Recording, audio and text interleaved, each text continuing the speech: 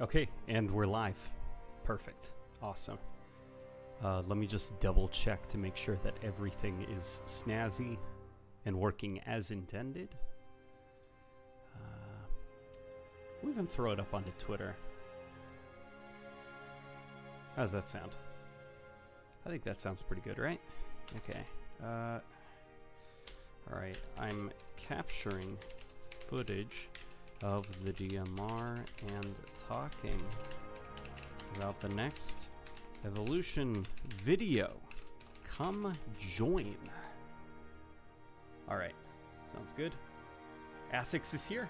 Big Cameron, Frozen Fire is here. Always good to see you, friend. Hey, late night, been a while. Yeah, it has been a while. Bad, boring gun. BR better, says Prince. Well, dep- depends on who you ask. People get really heated with those uh, DMR discussions, don't they? Oh no. Oh no, my webcam is not on. That's not good. Uh, that's actually really bad. Really? The webcam's not working? Um, let me see if I can turn it on. That's absolutely not what I intended to do, but sources. Uh, let's see. Video capture device? I think that's what it is, where I can find it at least. Yeah, the webcam is is gonzo. Uh, do you guys mind no webcam for this stream? If you guys don't mind, I guess we could make it work. Alright, BR is my beloved, but I really like the DMR. Um, this is the first live I've been to. What's up? Not much. We're currently uh, capturing some DMR footage uh, and talking about the DMR, its role in the sandbox, preparing for the evolution of Halo. Uh, I currently actually need to gather some good footage of the DMR in Halo 4 uh, which is a lot harder than it sounds when you've got like that internal pressure to perform. It also seems like, at least on the MCC, uh, most people gravita- gravitate towards the battle rifle, just since just since it's the easier weapon to use. Uh, but we'll see what we can do. Uh, We need to see your handsome face. Well, perhaps I can turn on my handsome face uh, after this here multiplayer match. Uh, tap going through settings and show the DMR. Tap going through settings. Um,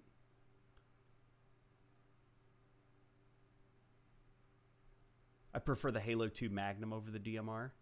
Is it, is that a joke? I think that's a joke. I'm taking that as a joke. Infinity Slayer. Infinity Slayer. All right. Let's see what we can get done. I also probably should put this to 60 frames per second. That way it doesn't slow down my PC. Uh, how have you guys been doing, by the way? I've been really enjoying my sabbatical uh, from Halo Infinite, that is. Oh, see, there we go. Alrighty. He's above me, isn't he? Okay. Oh no, and he has an overshield. Buff Commando Nerf Battle Rifle Fight Me. Uh, so you're telling me you're working on another ASMR video for Halo fans? I am currently. Uh, the, the evolution of Halo's DMR is currently underway. I've been working in After Effects to create some animated cards for it and stuff. Uh, I think it's going to be fun.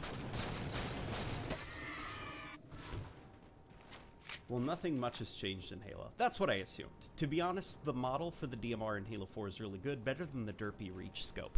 I actually don't mind the Reach Scope. I like the Reach Scope quite a bit, but yeah, the DMR model in Halo 4 is also a banger. I really, the DMR is one of those weapons where I don't think it's really ever looked bad. Uh, Halo 5 is maybe the closest to one that I don't like the look of, but that's mostly just because of like small aesthetic choices. Like what they did was they took this model and they lowered that front sight uh, as well as got rid of the ammo counter, which appears to be an attachment of sorts that you can slide onto the railing. Uh, so it's mostly just like the configuration of the DMR that I have issue with. Yeah, the DMR has always been a, a pretty good looking gun. Uh, as far as its utility in the sandbox, that's a completely other uh, discussion. Because uh, depending on the game, the DMR is like a completely different gun. Probably the the biggest parity between uh, DMR types, I'd say, was maybe the Halo Reach one and the Halo Infinite one. No cam? Yeah, uh, babe, I forgot to turn in, turn, turn in. I forgot to turn on my webcam, uh, so I'm actually going to do that after this multiplayer match is done. Uh, that way I can emote and gesticulate my hands as I speak for dramatic effect. There we go. Yeah, it's the time to kill at least seems about on par with the DMR, like or battle rifle, almost exactly. And the battle rifle, at least, it it has those extra shots because it's a burst weapon. So I'm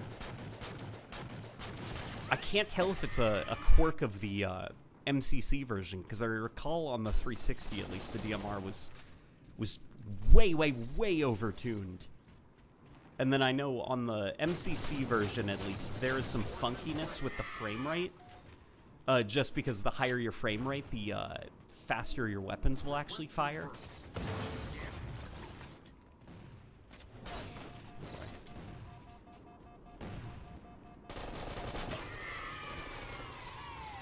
Uh, I've never tried the DMR in Halo Infinite.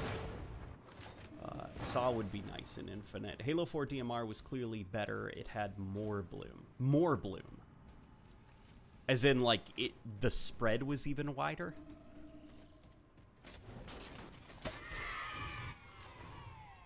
Man, I gotta get my uh, my my Halo mindset back right now. Because I feel like I'm getting shot from all directions. Let's try hopping up here for a second. Uh, Halo 4 DMR overpowered for battle rifle. I, I'll try to interpret that. I am assuming you mean that it was overpowered, same with the Halo 4 battle rifle. Yeah. Yeah, I'd agree with that.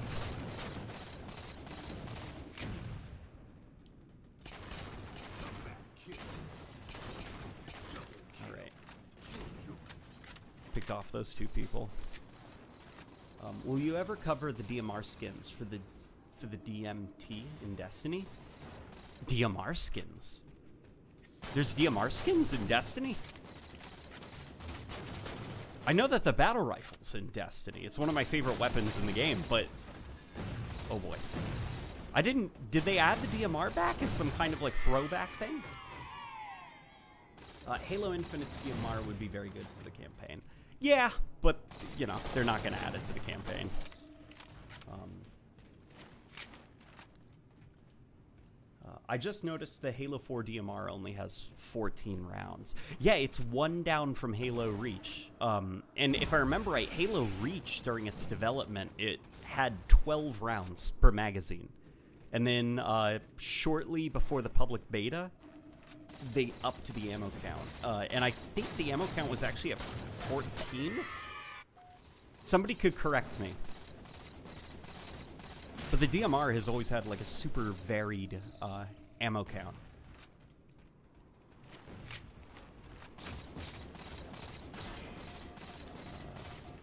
Dead Man's Tale has a skin that makes it look like a DMR. It was part of the same update that added the battle rifle. Interesting, interesting, interesting. Okay, I'm gonna take a look then.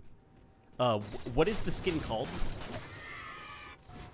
Because that is that is a valuable, valuable piece of information. Was it deliberate, or is it more of like those uh, Destiny fans trying to see something that probably wasn't intentional?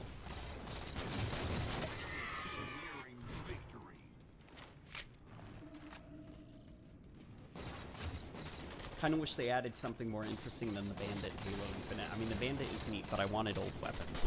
Yeah, well, you know. I feel like we all wanted a little bit more for Halo Infinite. Uh, I thought it had 14 in the Reach beta. That that might have been. It might have had 14 in the Reach beta. And if it did, that's actually uh, good to know. Okay, I am going to quickly plug in the webcam. And I am picking up the microphone right now. You guys cannot see it, but hopefully you can hear movement happening. And we are going to take a trip beneath, ugh, beneath my desk, uh, where we can find where the uh, where the webcam USB is. I found it. Okay, don't worry, guys. I can't see the chat, but I assume there are lovely words of encouragement, uh, words of inspiration. Um, okay, webcam should be plugged in. Okay, we return. We return above the desk, and now, and now we can turn on the webcam. Uh, video capture device, add source, webcam. Come on. Come on, where's the webcam? I'm currently searching for it, okay? It's gotta be around here somewhere. I literally see the light on. It's right there and it is turned on. Uh, all we need to do is get get it to recognize. There it is. Hi, all of you. uh, I did not mean to make this so large. So let me adjust the size quickly. Wahoo! Okay, there we go. That's a little bit better. Hey, all of you. How are you all doing? Oh my god, the next match is starting. Just in time. Um, uh, sorry, gonna repeat my question. Does bloom refer to spread increase per shot or base spread? Uh, spread increase per shot, I'd say. Uh, we could say like a recoil spread, but I feel like bloom is just like the the generic term everyone uses. Um, hey, Mr. Nowhere is here. Welcome back, Mr. LNG. Long time no super chat. Uh, it's good to see you, Mr. Nowhere. it's very good to see you, friend. I appreciate the $50. I really appreciate it. That's very kind of you. Yeah, Mr. Nowhere. It's it's good to see you, man. It's actually good to see all of you. Uh, but how are you doing, Mr. Nowhere? How are things going on your end? I hope things are going okay. Uh, let's look up currently that DMT. Okay, here we go. Destiny. Destiny. Destiny 2. DMT? DMR skin? Okay, one of them looks like a DMR, you guys said. Which one is it that looks like... Is it... Is it that? Is that the one that's supposed to look like a DMR?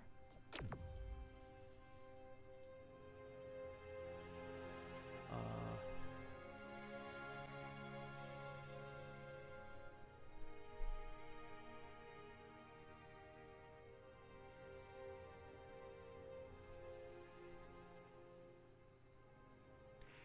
oh, hmm.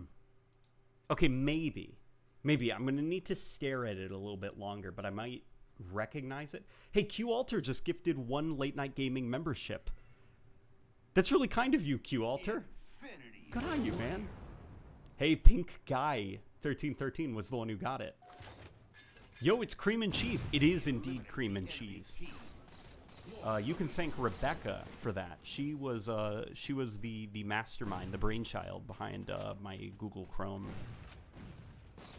picture, uh, which I'm probably gonna have to update it with new new uh, cute cute critters, creatures, happy things. Okay, we're off to a good start. Uh, okay, so this is Forge Forge uh, Forge Island. I think this map.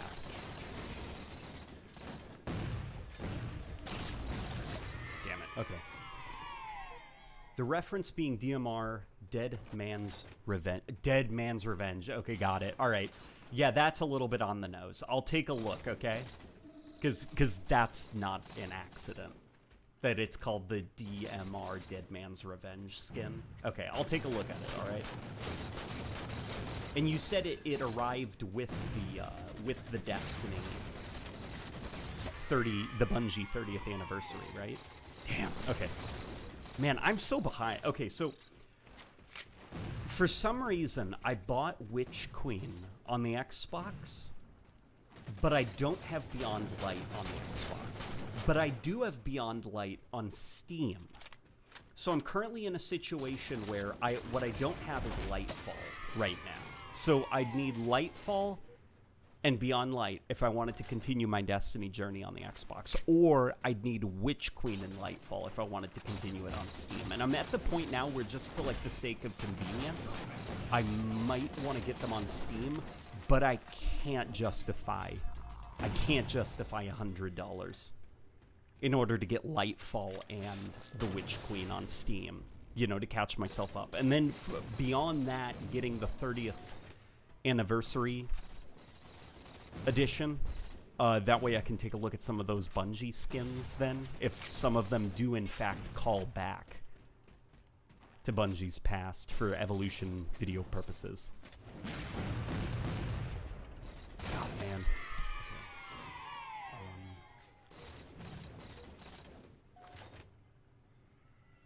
I continue to wait for the day that Q Alter memberships pick me. this is Frozen Fire. Uh, Destiny 2 expansions are weird with crossplay. Yeah, I man, yeah. I really, really, really wish I could just buy it on one system, but I, I know why it's not that case, and I, I honestly should should have bought the Witch Queen just on Steam. Oh. Do you play COD? Yeah, of course I do. Everybody does. Um, are you not wanting to use cross-platform? I do use uh, cross-platform uh, for Destiny. I've got it installed on both my computer and the Xbox. Just unfortunately, Lightfall is the first DLC where I've actually had to fall behind. It's just not in the budget right now. Um, there's a ghost skin for the Sparrow too. Yeah, see, I saw that. I'd love to have all of that stuff for evolution purposes. Because some of the, the crossovers that they've done are really cool. It, it is a cool idea the way Bungie will... They, rather than like just straight up have like a Magnum, like a Halo Magnum, they'll take the Halo Magnum's like silhouette and they'll destinyify it. Same with like the battle rifle or the beam rifle. Not beam rifle, focus rifle, I should say. Um, Q Alter was gifted one late night gaming membership to Abola. I hope I pronounced that right. Um, I suppose you could say the LNG light fell off. Yeah, uh, yeah, you could say that. Which Lightfall's apparently, like, story aside, it's not bad. You know, huge asterisks uh, when it comes to the story.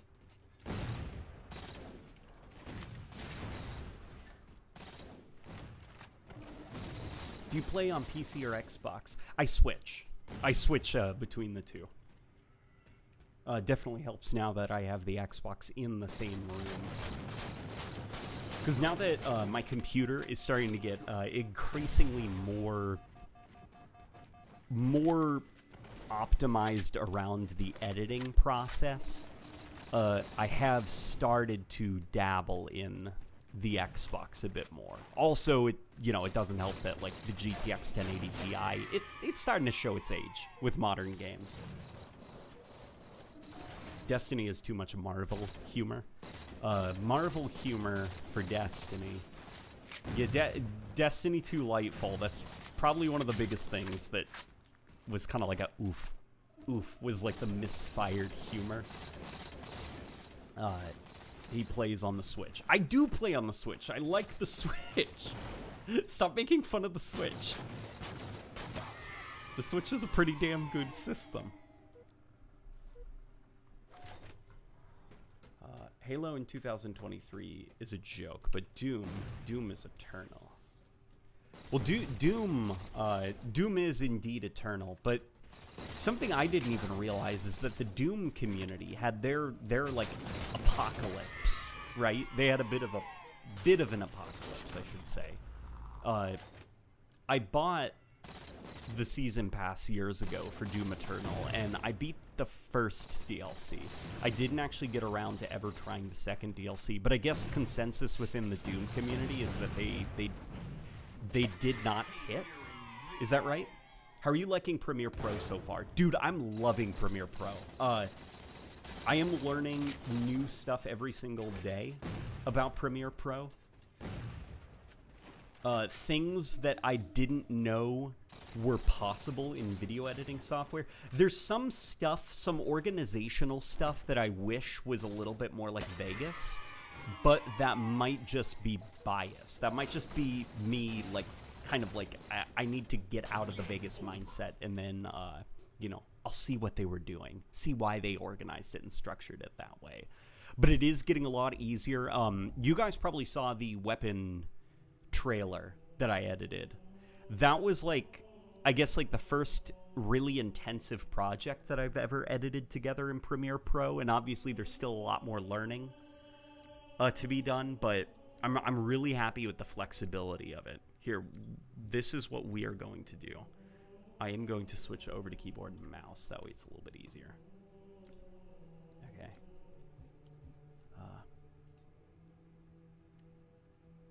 Put Steam on the Switch. Exactly, exactly. Surprised you didn't swap to DaVinci Resolve instead. Well, the reason I went to Adobe Premiere is because I didn't know that all the editors are currently talking about uh, DaVinci Resolve. What DaVinci Resolve? I had the chance to talk to one guy about it, who's a, a principal cinematographer. Um, he said that it there are a lot of really good AI tools in DaVinci Resolve that kind of like automatically color correct. Is that cor- Is that right? Is that why everybody's kind of gravitating towards DaVinci Resolve? Um, the Dead Man's Revenge DMR skin was supposed to be a direct call to the Halo DMR. Also, Chris Proctor from the weapons team said they had the DMR in mind when making the DMT. It's the best hip fire scout in Destiny 2. Something 54321, that's your name. Um, I, I didn't just forget your name. That is awesome information. Do you, do you follow me on Twitter or perhaps are you in the Discord? by any chance, could you send me any information you have about it? Because that needs to be included. That needs to be included as information uh, in this DMR video. Uh, do a British grunt voice. a British grunt voice. Um, what would he say?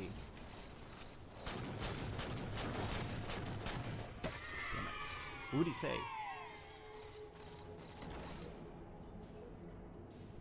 Hmm.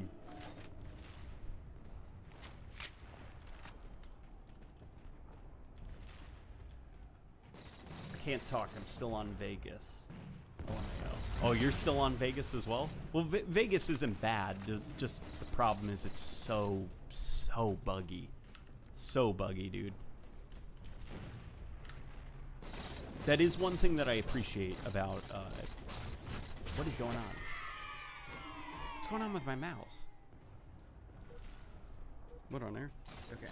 That is one thing that I appreciate so far about uh, Premiere Pro is significantly less crashes than when I worked on uh, on uh, Vegas.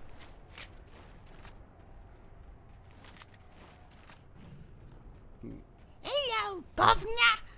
Is that no? That that sounded more just like me moving metal. That wasn't a very good grunt voice. Let me try again. Ahem. Starship. Green Man. Hello, governor. Nah, I can't do it. Sorry, it's a little bit rusty right now. I apologize. That was that was humiliating. Um, is this Halo 4? This is Halo 4. Oi, bruv, get off it. yeah, that just sounds like a squeaky little British man. Uh, some could say Luke.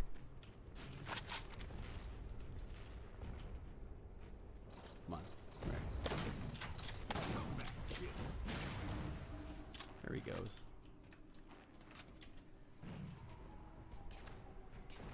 Grunt should do an entire uh, Winston Churchill speech. Q Alter just gifted another membership. This was to JXGR. Good enough. Yeah, good enough, right? It's unfortunate because grunts, I don't think they probably could translate into a British accent, right?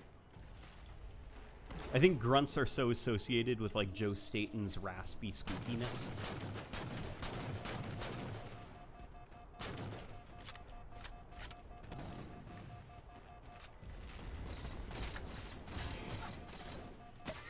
Playing Hid Xperia right now to start more community drama. oh, pinging him. See, I can tease Luke because he and I are friends. Oh.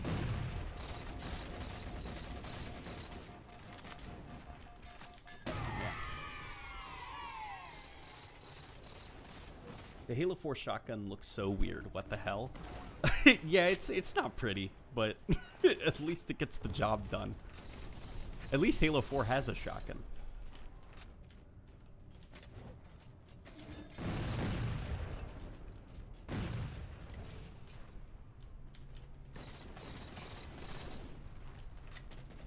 What what do you guys think about Okay, so the DMR I haven't gotten a chance to play Halo Infinite because of lack of interest. How is I saw that they they apparently did DMR starts for Big Team Battle and it's it's been widely praised. I guess it's safe to say, right? What do you guys think about uh, the DMR in Big Team Battle? The biggest win that I can think of for having the DMR is like 343 they're not fixing the battle rifle. They're not making it more, you know, mechanically interesting. So adding what is essentially like a single fire like that way you can just click click click click and you can't like exactly drag you know your crosshair over an enemy during the burst. Uh, which is a problem with the battle rifle, is that at least the Halo Infinite battle rifle, and to some extent previous battle rifles, they could reward more sloppy aim because you could essentially click and let the burst go and just swipe your crosshair over an enemy's head without directly aiming at them, and one of those shots in the burst will land. Uh, but with the DMR, there is a bit more of that, like click, click, click, you know, or pressing the trigger and having to time your shots it's a more consistent and predictable firing pattern, I guess is the best way I can put it. Uh, and I've heard it's it's helped quite a bit with uh, big team battles pacing. Request confirmed. Damage boost.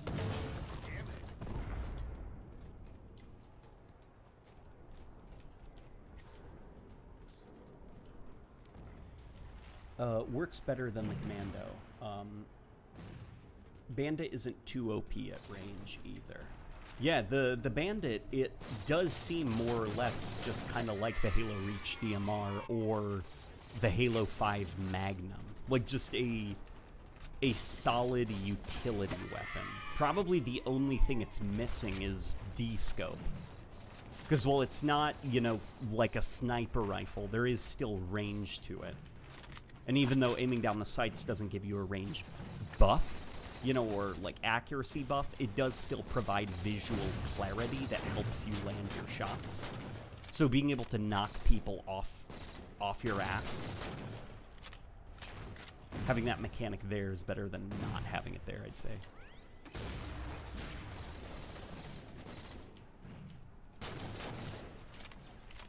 Um, Doom 2016 or Halo 2? Oh well, they're they're such different games, like so different. They're on such different ends of the spectrum that it would be. That's like saying, what do you prefer, Rayman 3 or Age of Empires 2?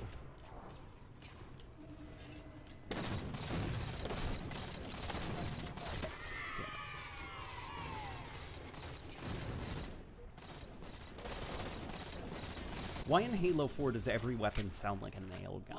It's. I talked to a sound designer actually about this. Uh, I'm not sure if he still works at Bungie. Uh, but the way he described it was with Bungie's sound design, they have really soft transients. So if you open up like the audio sounds for like Halo Reach's weapons, because that was like the latest Halo project before they went over to Destiny, what'll usually what you usually see on the audio spectrum is a build up to the peak and then a long fall off. So it's it's a bit of like a soft entrance and then the boom and then the tail the tail of the sound effect. Where with Halo 4 if you open it up in an audio editor, it's just like silence boom, immediate peak volume, and it's loud and then has a sharp fall off. There isn't like a very strong uh, tail, I guess. And so what it leads to, at least in in uh, motion, is a lot of Halo 4's sounds. It does sound like like a hammer, like a jackhammer. It's these constant, sudden, sharp sound effects. Uh, and some of that might be due to 360 uh, engine limitations. Because the, the audio designer for Halo 4, Sotaro Tojima, um, he was not very familiar, I guess, with um, the way that the Halo engine's uh, audio codec worked, um, as well as like the weird ways that the Xbox 360 would compress sound effects. So the sounds he would design in the studio, they'd sound a lot different, a lot more uh, like scratchy in game, and it was one of the the uh, things that he wanted to change going into Halo Five. Halo 4 aiming feels so good compared to Infinite. Yeah, yeah, right. Um, I'm not sure what changed under the hood in the Halo engine between Halo 4 and Halo 5 because Halo 5 I think is the first Halo game where something felt like off in the aiming because of the the like tweaks. I forgot they um in one of the Vidocs for Halo 5 they talked about how they had like completely gutted the aiming system and rebuilt it because they wanted to make it like easier to use and better and I I think something broke. Something that they still haven't found to this day because I'm not sure if you guys remember the uh, heavy aim bugs in Halo 5. How depending on system load, uh, rather than the frame rate dropping, your input delay would actually increase. Um, but a lot of the bugs in Halo 5's aiming system have like translated almost directly into Halo Infinite, and in in some cases, I think Halo Infinite feels a little bit worse aiming wise.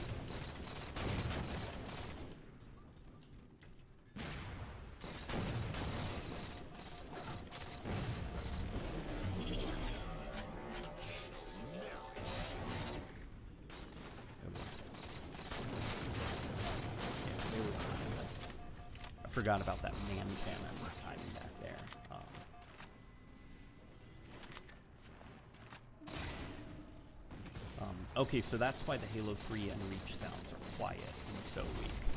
Uh, well, Halo 3 sounds are quiet just because of the, the odd audio mixing. The way that Halo Reach, or Halo 3 was mixed. Uh, it's, it's very, it's very odd the way that they mixed that game. Um, Halo Reach, on the other hand, I don't think it's very quiet or weak sounding. I think Halo Reach actually has a, a strong audio presentation for an Xbox 360 title. Uh, what Halo Reach is missing, though, is at the time the Halo engine did not support. Um, I can't remember if it was like audio occlusion.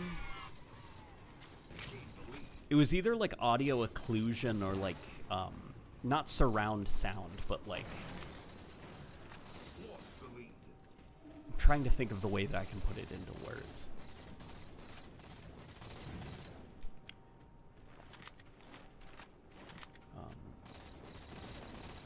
Why does the Spartan do a screaming animation when they activate an ability?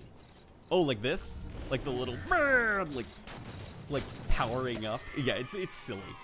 I assume I'm not sure where the the um where the armor ability is located on the Spartan, but if it was coming, if it was like located on the central chest, then I guess that would make sense because you're like, you know, pumping the chest up so that you can like deploy the energy field around you. But hey, LNG, have you ever played Prey 2017? I got it for my birthday and it's a banger. Dude, Prey 2017 is one of the best games of the last generation. like the the immersive sim genre, which is what that type of video game is called. The immersive sim genre very rarely is a commercial success, which sucks. Um, but I don't think there really is any bad immersive sims. Like, they're usually all incredible just because it is, well, it's hella immersive.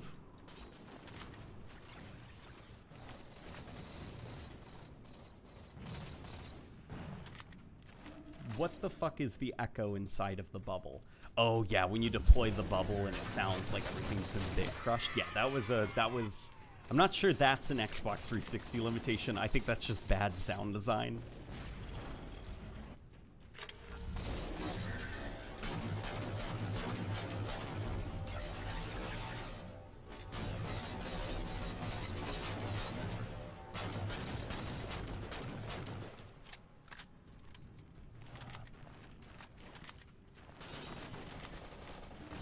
5 was a pretty major had a has a pretty major aim update a few months in. Halo 5's default aim acceleration was 3, and they said the closest to the previous titles was aim acceleration 2, but I remember even pre-launch with Halo 5 some people said aiming felt weird. No, they they did do a what they found was at launch there was a dead zone issue with Halo 5 where um if I remember, it was either the right or the left was not as sensitive. So you actually turned slower in one direction than you did the other. So they had to release an update to fix that, as well as give people the option to edit their dead zones themselves. But what happened was a couple years later, somebody made a major discovery. Because, like, for the most part, like, Halo 5 has always been a game where it's either super responsive or it almost feels like you're playing with with like a second of lag. You know, you're aiming like you're you're boom, boom, boom, shooting, and you feel like you can't keep up with the heads of enemies. Like your controller just isn't responding. Uh, and turns out that's exactly what was happening. Uh, depending on the map, depending on the performance of the game, uh, depending on where you're looking on a map, uh, if Halo, if the engine is being taxed too hard, it would actually drop uh, your input responsiveness as well as your aim assist responsiveness.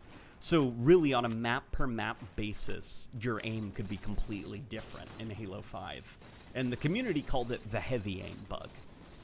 Uh, and 343 deployed a fix that they hoped would fix it, but it didn't. It just, you know, minimized it in some cases.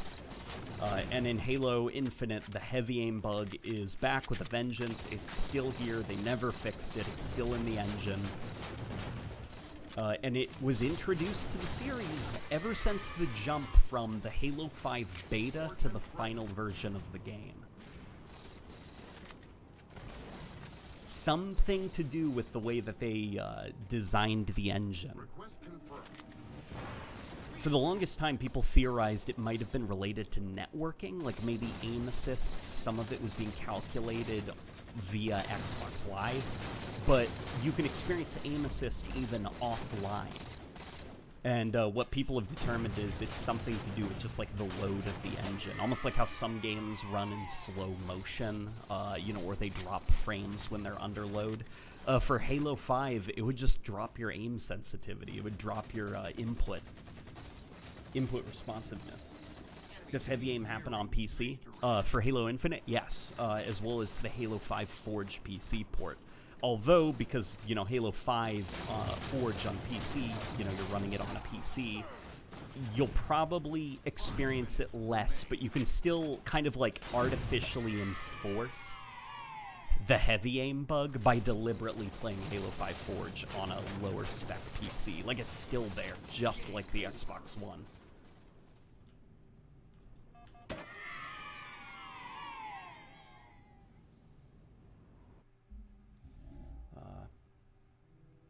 DMR in Halo 4 felt like an inferior battle rifle to me. That's that's the vibe I'm starting to get. Um, with Halo 4, they made a conscious decision uh, during production, and they they actually showed it in like a slide. They made a conscious decision to kind of pivot away from the idea of uh, of a weapons filling kind of like very unique, very weird, sandboxy niches like a plasma rifle. Well, is a plasma rifle like an assault rifle? No, it's its own thing.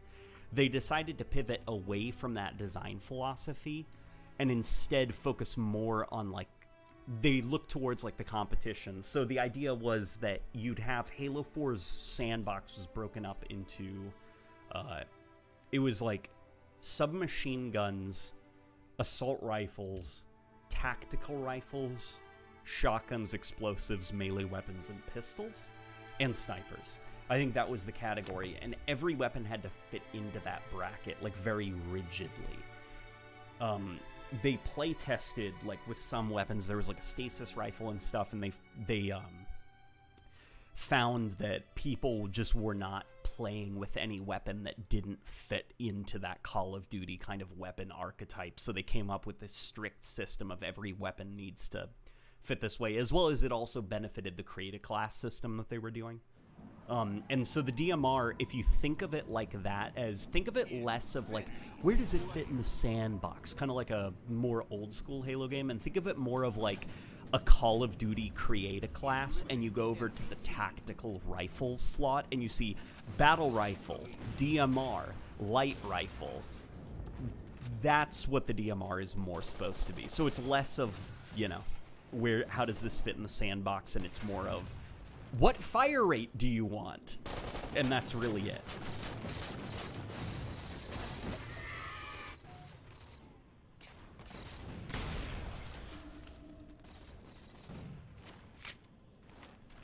What is your favorite Master Chief design? Uh Maybe Halo Maybe Halo 2 or Halo 3, one of those two. I'd like Halo 2. You know what? Halo 2's like marketing Master Chief, I think, is probably the coolest.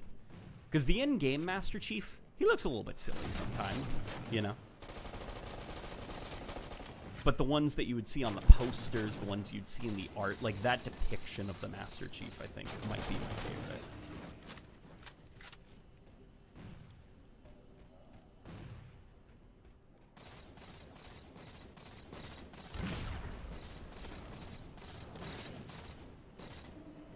Twenty forty two, five is too glitchy if you download online.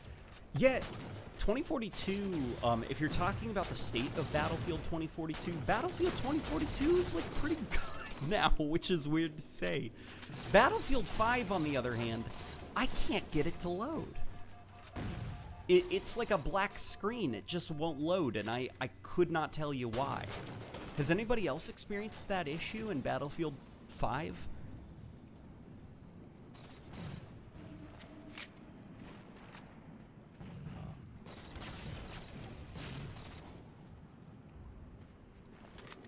Should I buy BF5 or 2042?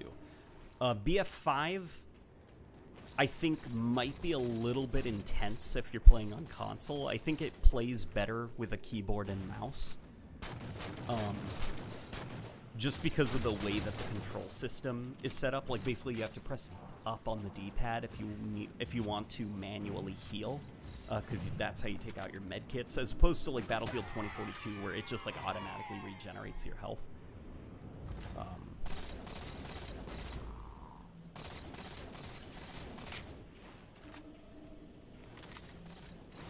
is it just me, or did Master Chief sound a little bit more nasally in Halo 2 than any any other game? Not sure about that, about Master Chief being nasally, but I do know that Jen Taylor had a cold while they were recording uh, Halo 2.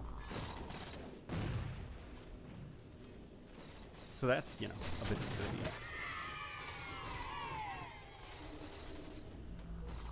Thoughts on a Halo game with a couple of utility weapons, but alongside with an expansive sandbox? Yeah, go ahead, do it. Uh, that's the preferred way, at least that I would design a Halo sandbox. Because I think Halo sandboxes, as much as people don't like utility weapons, I do think Halo games are stronger when you start off with this is the gun. This is the gun of the game. Whether it's a battle rifle or a DMR, and then you start building weapons around that.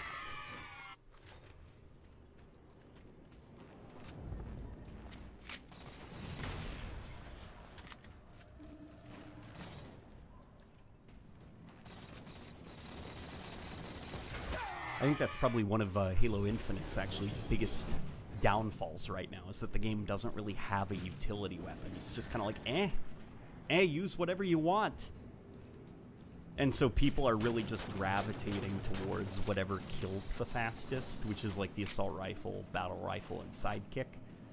Uh, and then weapons that are a little bit too hard to use or too situational to use, uh, kind of like the Mangler, they just began abusing it for its melee system, like not using it to shoot because it's it's too hard to shoot. Just use something that's easier to shoot. As opposed to if you did have that solid, like, well, this is the gun people are going to use most of the game. Then you can start being like, okay, got it. Now you build a whole bunch of other weapons around weird, interesting quirks, design philosophies, and stuff. With the knowledge that, well, people aren't going to be trying to use this to get the most amount of kills, so why don't we just design this thing to be the most unusual, most interesting?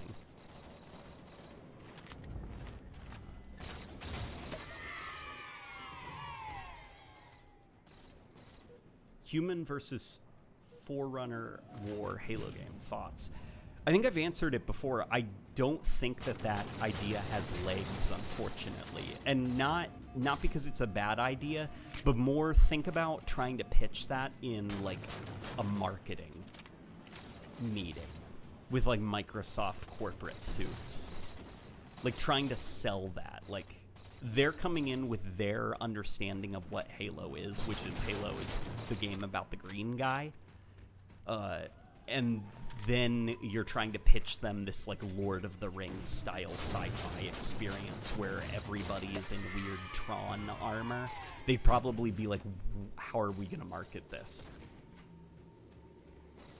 Like, can one of them at least be green?" You know, you already see the way that uh, modern Halo, it like it just can't help itself but put Spartan this, Spartan that everywhere. So imagine trying to sell people on a Halo game with no Spartans. You might have been able to under Bungie, because we had Halo 3 ODST, but nowadays uh, Halo has sort of like shrunk. Like as Halo has become less and less relevant, Microsoft has sort of turtled up around the more marketable elements of the Halo franchise, which are Spartans. And I don't think we'll, we'll ever get something like that. Uh, at least not for the time being.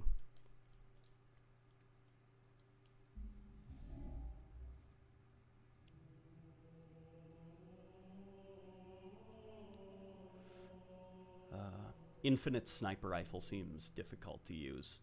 Yeah, I, I haven't been able to fool around with it much since uh, they got rid of the recoil, the hip recoil. Uh, but yeah, infinite sniper. I can't tell if it's just like you know problems with the aiming system or what. But let's do this. We're never gonna find out who the endless are, are we? No. We'll, we'll never find out who the endless are. And whoever the endless turn out to be, it'll be different from what the original idea was because all the people who came up with the endless, they're not at 343 anymore. So it's going to be a completely new group of writers. So whatever the endless turn out to be, it will not have been the original idea because it'll be a completely different uh, group of writers and devs.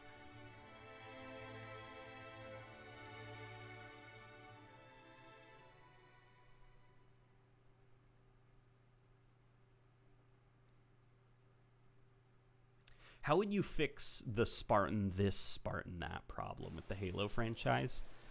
Uh, the way that I would probably do it is, um, like just the the obsession and fixation on Spartans to the point that it's kind of like you know harming the variety of the Halo franchise. Uh, the way that I would probably do it is they've got to do like a battle royale of some kind, and the battle royale is not you're not Spartans. You're Marines and ODSTs in the battle. Like they've they've got to come up with an idea that is very popular. Now, also, you know, unfortunately, this battle royale idea it kind of hinges on the game being good and successful, which with 343 that's not a guarantee. Um, but if you can come up with like a fun, like, okay, what are the kids playing right now? They're playing extraction shooters and battle royales. Um, we're gonna make a super addictive battle royale. We're gonna seek out live designers at Apex Legends. We're gonna like, r- we're gonna uh, Enemy team scored. Leech them away from like respawn entertainment. Like people who have been like looking at data analyzing player behaviors in these live service games for years and years and kind of like understand player psychology we're gonna get up off our feet and we're gonna make a battle royale with some really uh, talented experts who know everything about player retention uh, get some good gameplay systems in there and it's not gonna be spartan themed. No spartans. You're gonna be odsts and marines that way you expose a new generation of gamers to like the greater halo universe to an extent and you can start to kind of like detach. Kind of like a think of like titanfall. Before apex legends titanfall how would you even do that universe without titans or pilots? Well apex legends came out and now arguably you know pilots are like the least important aspect of the Titanfall universe, which is crazy. How would you describe Infinite's art style, and which Halo does it resemble the most? Infinite's art style, I would describe as being being a, a blur between Halo Combat Evolved and Halo Reaches. That's the way that I describe it. It's most similar to Halo Reach and Halo Combat With with just, you know, some sprinklings of Halo 3 thrown in there.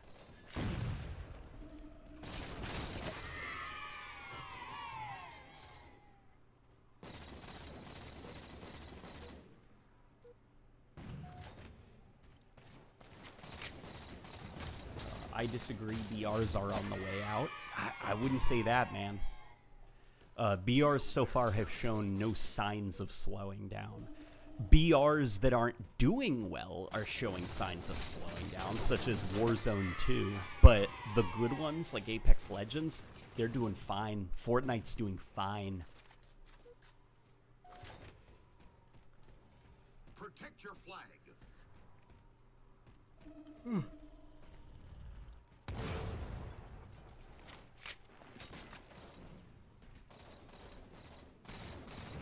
I feel like people would see a Halo BR without regen shields as a waste of effort.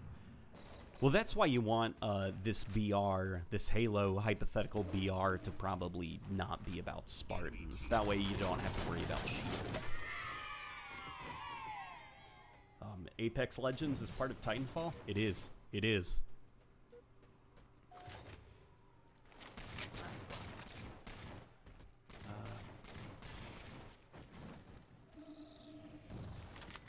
They made another Warzone? Yes, there is now Warzone 2 or Warzone 2.0, I think they're calling it. Uh, and it is a, a new application attached to Modern Warfare 2. Uh, and it's currently not doing too hot because they basically invalidated all of people's purchases. Which, you know, hey, that's why you don't buy microtransactions because that could happen. A couple years later, the game shuts down, and then all that money you spent is uh, pointless. That's why you buy things like story DLC, things that have playability and gameplay value.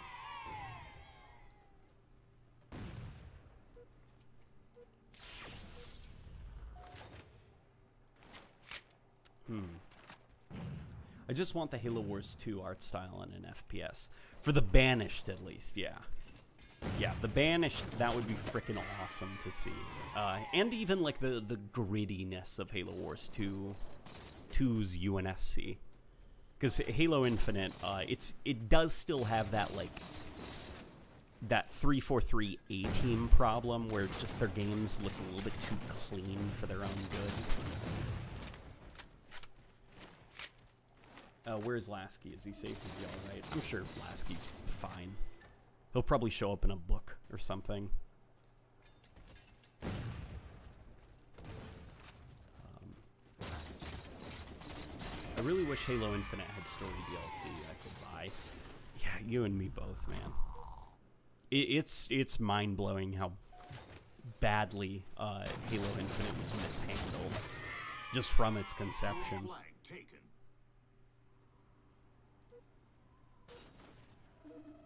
And going forward, like whatever you know is going to happen with the Halo franchise, I hope it does well. I don't really have faith in Pierre Hintze. Um, I don't really have faith in 343, Kill. Protect your flag. but you know, maybe things will turn out okay. but I I'm erring on the side of we're probably in for a second or third Dark Age of Halo, depending on who you ask. How's After Effects? After Effects is freaking awesome, man. I'm finally starting to get into like the 3D visual effects and stuff, uh, like tracking, uh, and that is a lot of fun.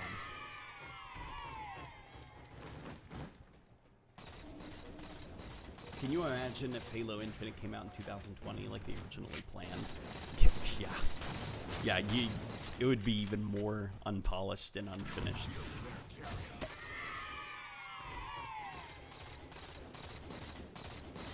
How come you don't have faith in Pierre, or is it just not wanting to put trust in some magical savior?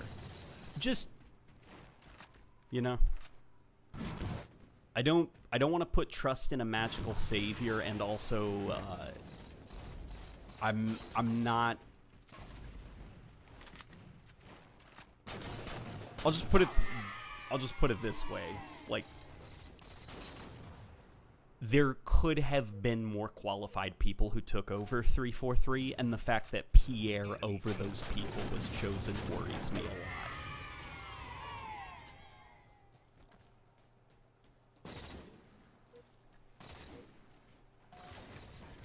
Um, Late Night Gaming, do you consider the sidekick in Halo Infinite to be part of the M6 Magnum lineage? I do consider the the sidekick to be a Magnum for Halo, like a Halo pistol. I know it's technically not, you know, a Halo Magnum and M6, but it's it's like, listen, there's no Magnum in Halo Infinite, but there's the sidekick thing. This is a replacement. So I just consider it to be the Magnum. 343 needs to stop catering to late 20 somethings and forge a fresh path that isn't held back by fanboys arguing over stuff no one else cares about. There definitely is truth to that. Uh, which is weird also because 343 they are currently going hardcore on trying to appeal to a fresh audience. Like this whole um elseworlds or whatever it's called fractures armor. That's not done for halo fans. That's done to try to appeal to fortnite kids. Um same with like the rated t for teen like that was done so that they can appeal halo to a younger demographic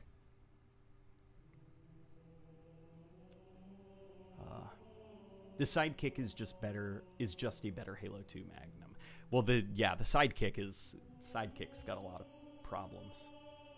Uh,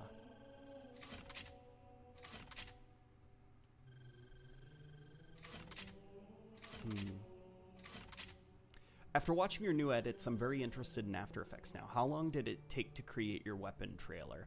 Uh, well, After Effects is a tool that you can use to create visual effects for a part of your video. So, like those three dimensional cards, you know, where it's like the weapon name and it's like flickering and stuff, that probably. It, it took a couple of days for me to learn what I was doing, but after that, it would take about an hour probably to do each one. Maybe a little bit more if I was being very obsessive with the details.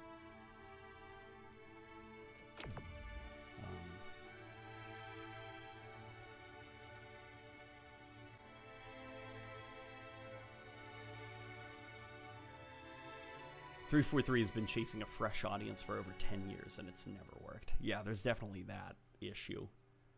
Which is I don't think 343 has ever stopped trying to chase. It seems like they can't decide who their target audience is. Yeah, they um they want Halo to appeal to a new, new audience, but they also want to spiritually bring Halo back to its roots.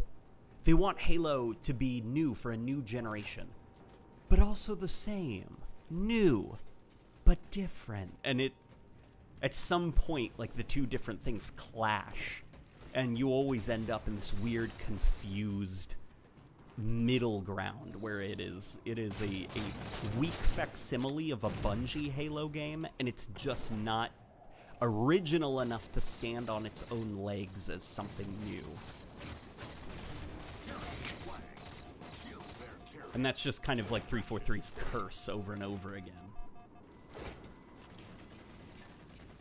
Uh, Kevin Law says, was going to ask for your thoughts on 343's new management, but you answered that. Enjoy the $20. Haven't sent you anything in a while. Love your tools, trade, video, whatever happens at 343. I'm past the point of caring.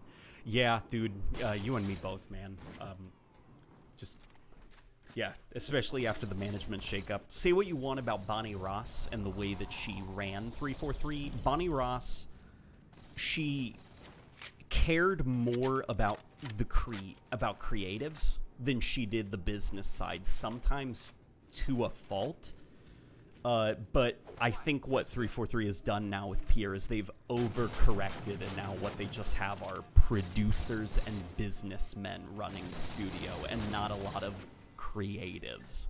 And uh, that that doesn't inspire me with confidence for the future. That I feel like Halo is going to become a very product-like franchise going forward.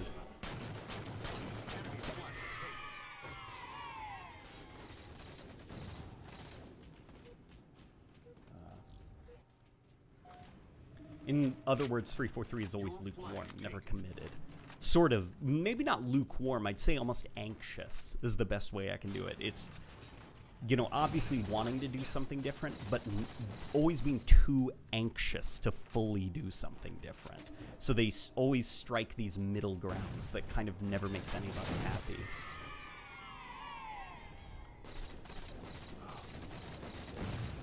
If you could have put anybody in charge of 343 when Bonnie Ross, who would you have picked? Oh, dude. Uh, Joe Staten. I know that that's probably a very generic answer, but definitely Joe Staten.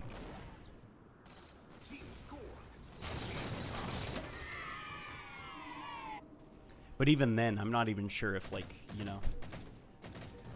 I, just don't know if, like, the Halo franchise and kind of like the creativity that the Halo franchise demands is something that's even possible under Microsoft.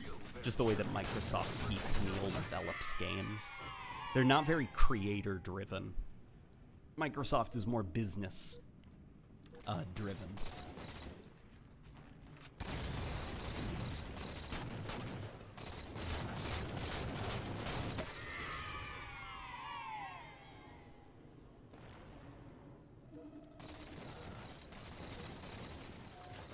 Halo Reach has the best Master Chief. Changed my mind. Well, Halo Reach has a has a fun Master Chief firefight. Do you think Joe would have accepted? I'm positive that Joe Staten was probably hoping he'd be put in charge of the studio. And I'm sure that uh, Matt Booty kind of going behind his back and putting Pierre Hintze in charge, that probably took him completely by surprise.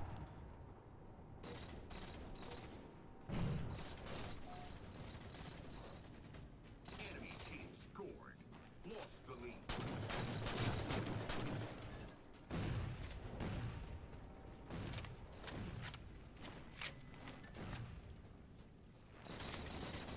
Uh, if they wanted to do something different, then the Halo universe is ripe for non Master Chief adventures and stories that are grounds for experimentation.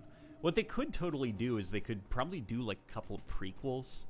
I'd say like probably slow down, uh, slow down on kind of like uh, the current stuff going on, and maybe you know have some Halo games set during the Human Covenant War, like long ago.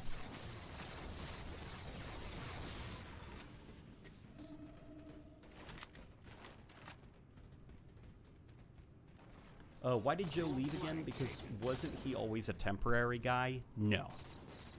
Uh, he is known to be a temporary guy, but him going to 343, that was not with the intention of him leaving at some point. Uh, he was very much there to stay. He was very much looking forward to getting started on the next Master Chief adventure. Uh, and then suddenly Pierre Hintze was put in charge. Enemy team scored.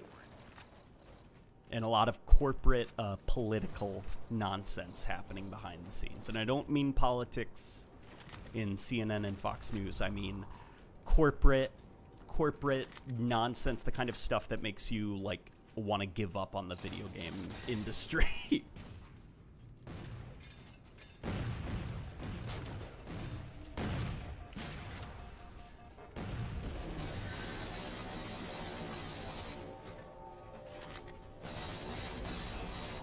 Metal Gear Rising style.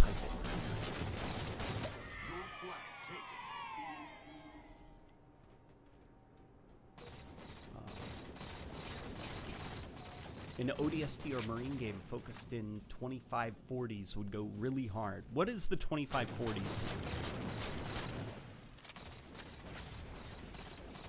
Is that like Halo Wars time or was that like 2530s?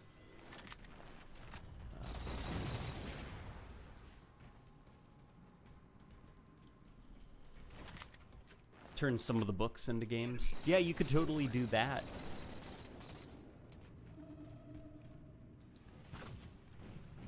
I feel like a lot of people said that Contact Harvest would probably make for an awesome game.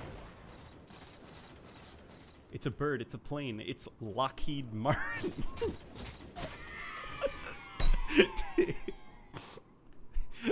the Vic Berger edit is so good. The invisible jet Vic Berger, that's such a good edit. I freaking love that video.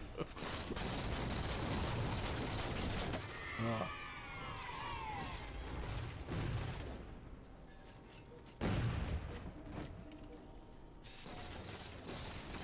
that makes more sense because it really confused me why he left. Yeah, he he uh, did not leave of his own accord. He was told that he was gonna be leaving.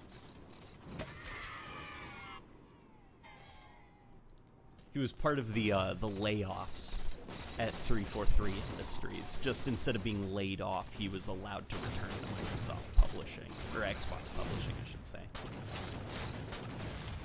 Which kind of sucks because that's almost like the second um, time that Joe Staten, I guess, was like kind of stabbed in the back. Uh, the not stabbed in the back, but like the disappointment happens in the workplace. You know, where he's very enthusiastic and hyped about something, and then it all collapses. First time is with Destiny and his original pitch for the Destiny story to Bungie, and then now with uh, 343 Industries and future Halo uh, campaign content being deprioritized as they try to cut costs.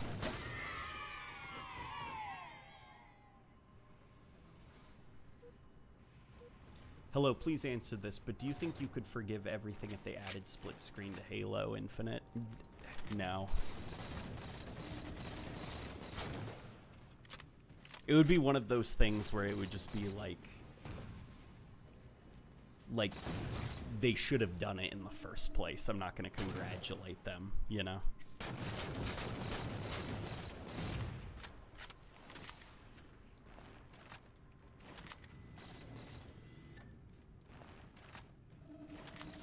Split screen doesn't fix the other dozens of issues, sadly. Yeah, exactly.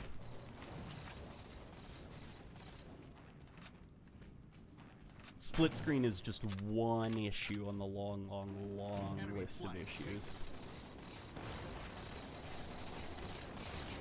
We're gonna hop over to some Halo Reach after this right away. We're gonna try Invasion because I need footage of the original DMR, and currently Invasion is the only place where you can experience the original Reach DMR. Because the title update DMR, that's that's not the one that I want to talk about. I don't like the title update for Halo Reach. Like as annoying as Bloom is, and uh, the lack of melee bleed through for Halo Reach, that was still the way that the sandbox was designed and balanced. And I think what the title update did was it just kind of like broke the balancing in the sandbox of Halo Reach.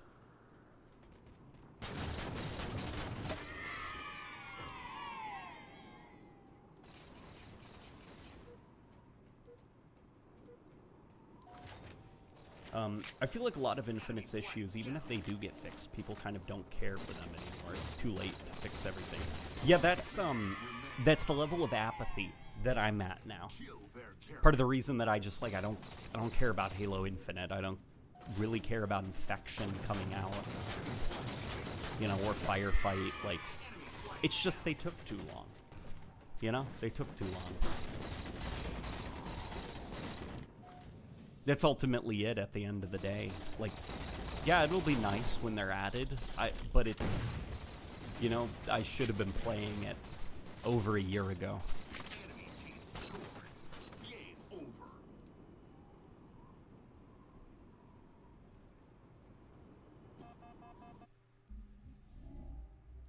If you were to discourage camping in a movement shooter, how would you do it? Personally, I would implement aim assist or bullet size based on player velocity. If you were to discourage camping in a movement shooter, what's a movement shooter? Like Titanfall? Um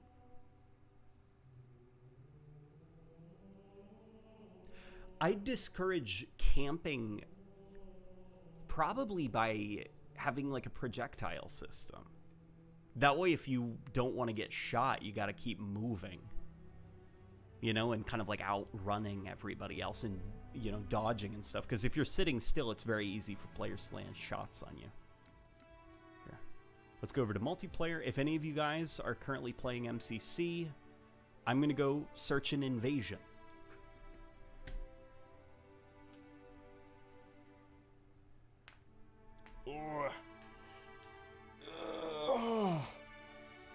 Halo Infinite has the best forge, and yet I don't care about it in the slightest, unlike every other forge that was in Halo. Halo 5 update included. Yeah. Yeah, it's. Dude, even the forge mode doesn't excite me, and that sucks because forge is everything I wished it would be. Uh.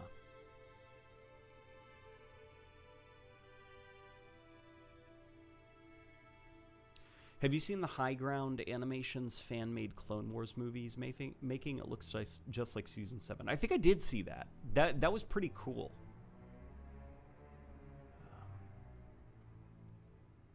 M- Miku wants to be noticed, um, which I have just done. Um, hmm.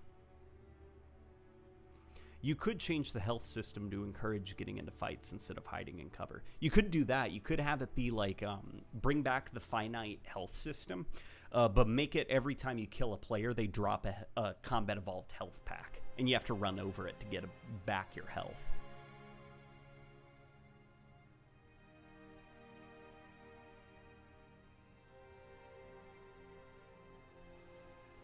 Whew. There's a timeline out there where Infinite's launch date had the content of season two, and the second season came out three months later with a large portion of content too. Just hope I wake up there one day. Well, there, I'd say there's also a universe out there where Halo Infinite uh, just released with, you know, content parody uh, with Halo Reach. You know, season two of Halo Infinite, I don't care about. The game's still unfinished. But there's got to be a universe out there where Halo Infinite had firefight, infection, split screen campaign, and all of that on launch, and a progression system. I think Halo Infinite Spartan textures are amazing. It makes them look real. Yeah, dude, um, Halo Infinite's assets are incredible. And it, like, the the current version of the slip space engine i don't think does it justice how good halo infinite's asset quality is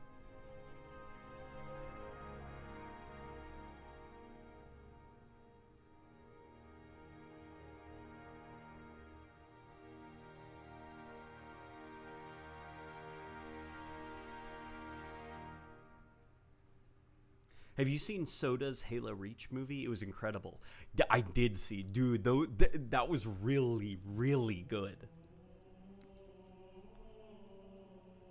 Yeah, Soda's uh, Halo Reach animation. That was incredible, incredibly well handled. I really liked that a lot.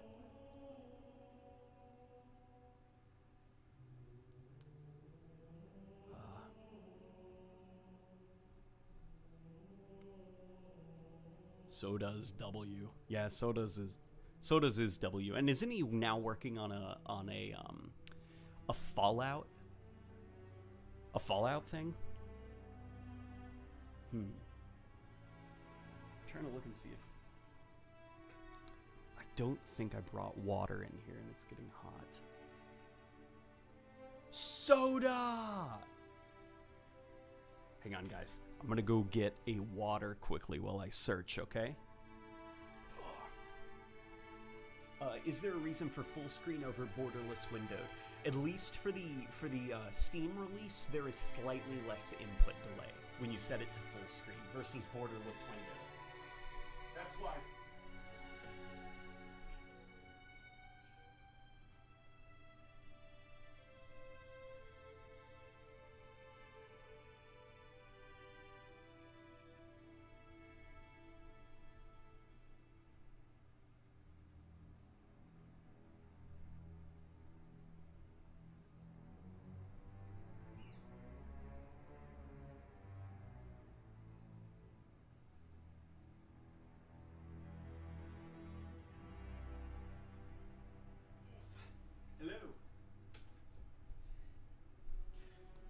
There. Uh, hydration. Will you please read my chat? Uh, Pepsi is the goat. Pepsi is the goat. Um, Pepsi's pretty good. I like it better than Coke.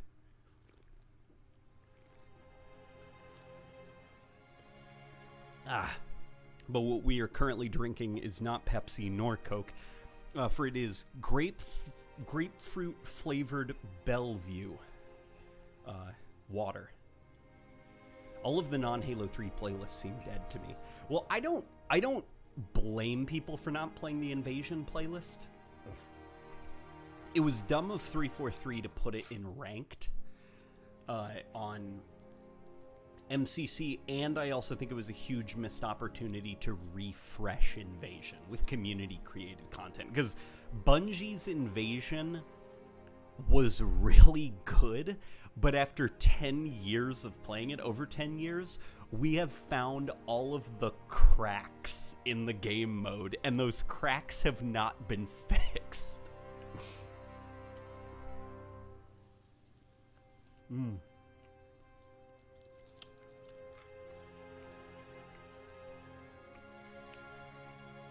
Recently, I've been taking a friend of mine through the Halo games for the first time. What do you think are some of the most important things to show him? Specifically, more niche things. We just started Halo 2. Hmm. Uh, more niche things. What do you mean? Like, uh, things in the game to show him?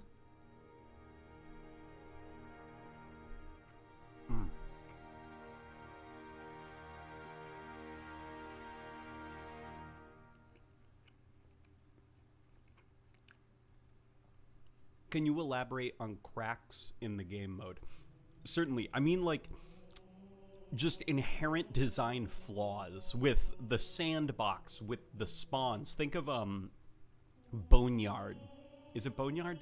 Uh, for invasion.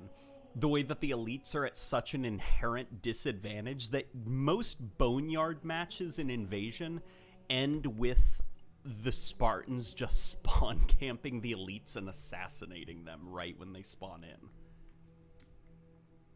Okay, so nobody's playing uh, Halo Reach Invasion, unfortunately. So we are going to go over to Title Update Slayer, which is not what I wanted to do, but.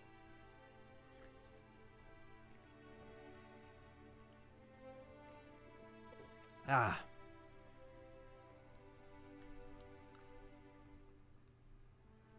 And also, I just think ranked invasion is not the way to do it. You shouldn't be like in forced into like ranked matchmaking for invasion. Invasion is a mode that kind of you need to have like a more diverse uh, roster of teammates. It can't be all competitively balanced tryhards, or the mode just becomes intolerable.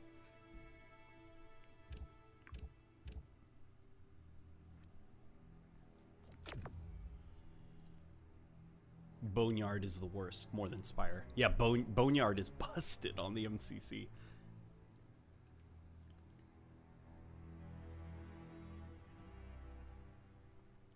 Ah. You know what? Custom Games Browser Invasion. That's not a bad idea. We could give that a try.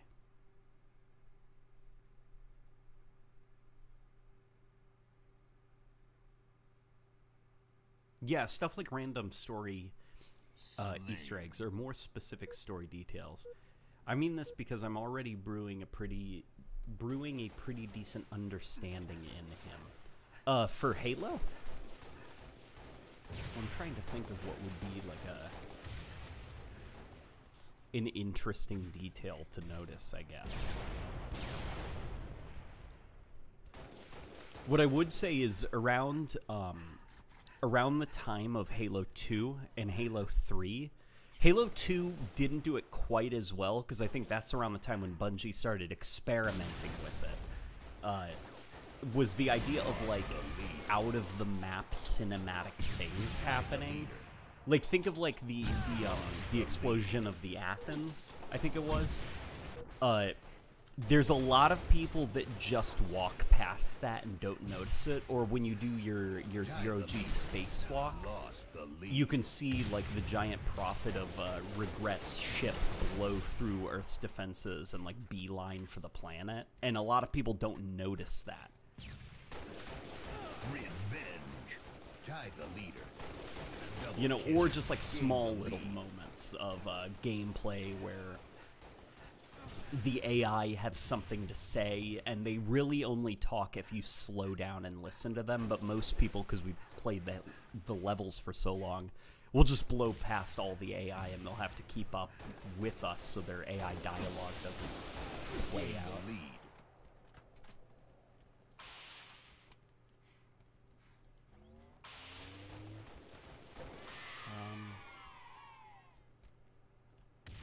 I can't believe Sonic is dead. Yeah, I know, right? I can't believe Sega killed Sonic. Gain the lead.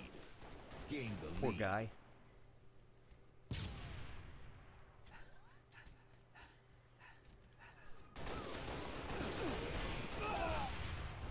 Oh boy.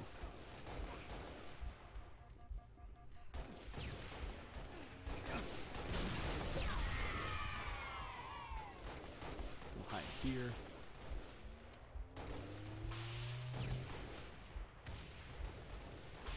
Halo 3 messed uh, up out of the map stuff sometimes. There are tough triggers on Tsavo Highway where Marines talk about the Mombasa elevator in the storm.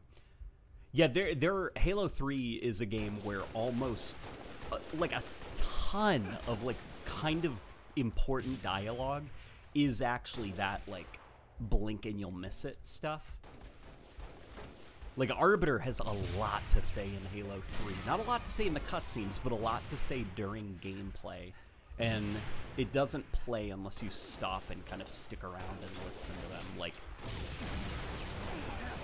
So usually in Halo levels, like if Arbiter splits off from you and you meet up with him later, he'll usually have like an interesting conversation with the Marines, but just because of the pacing of Halo levels, most players won't stick around and like just stare at AI, like they'll just like move on ahead.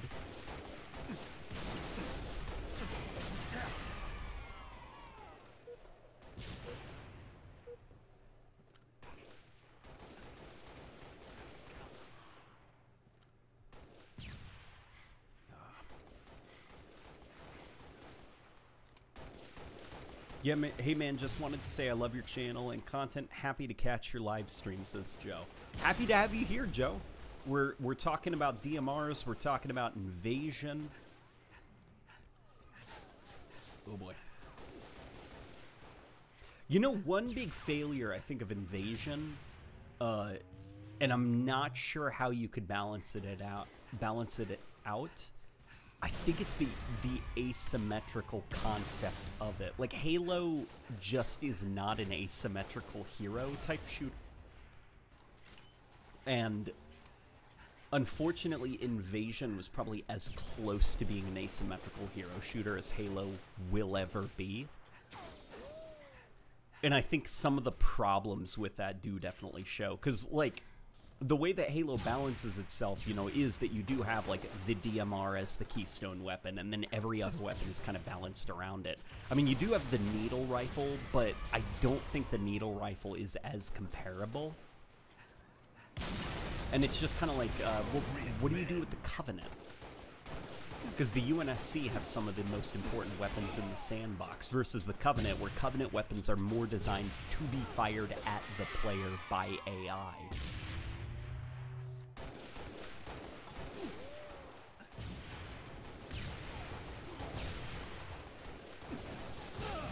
Betrayed.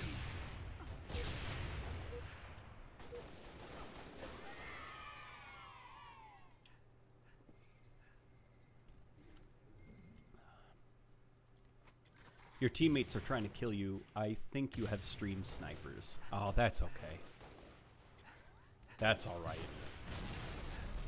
We're still kicking ass, and they don't have aim assist, so they can try as much as they'd like. They're not going to be able to kill me.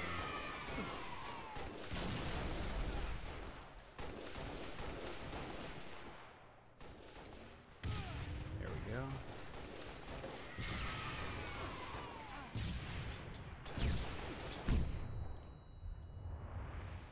Honestly, the DMR is mid.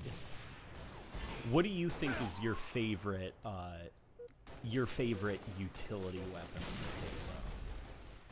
Are you like a battle rifle person? Are you a magnum person? Or are you a DMR person?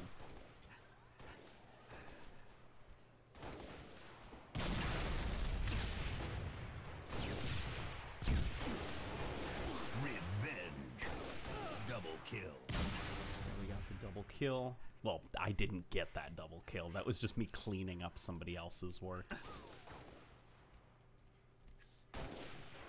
Come on. Is that the stream sniper?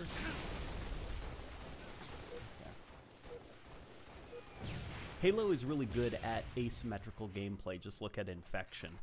It is good at asymmetrical gameplay, but not not in like Slayer type. Like the the rules have to be very very different. It, like Infection, that's one thing because that's well that's like the Infection game type. But something that's more objective focused, where you've got elites versus Spartans. I don't know you you'd have to probably really really really design it differently to the point where elites just have a completely different health system than the spartans and damage system too and at that point you'd be breaking it up into almost like depending on who which team you play as it would feel like a completely different shooter and i'm not sure if people would be too up for that because even like halo reach it tried to sort of have it both ways, where it was like, okay, like the elites feel sort of. They feel sort of like Spartans. Uh, but they just have like one extra shield point, you know? Like that's about as comfortable as Bungie got with separating the elite gameplay from the Spartan gameplay.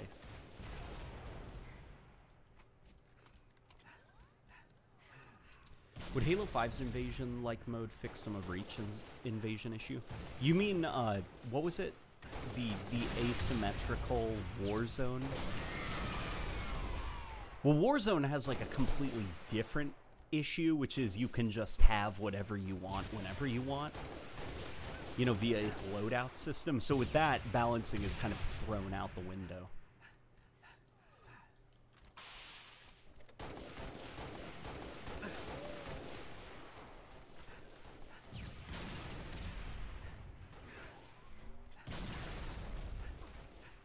trying to think of how like invasion could probably be redone.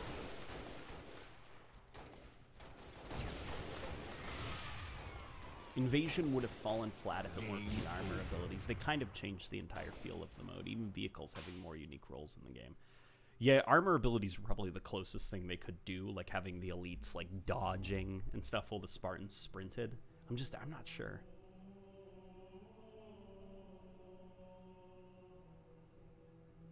Hmm. Why does Infinite have tiny reticles? Well, Infinite's reticles scale with your field of view. So the higher your field of view, the smaller, sm- smaller your retic- reticle will be. Uh, here, let's look at the custom games browser and see if anybody's playing Invasion.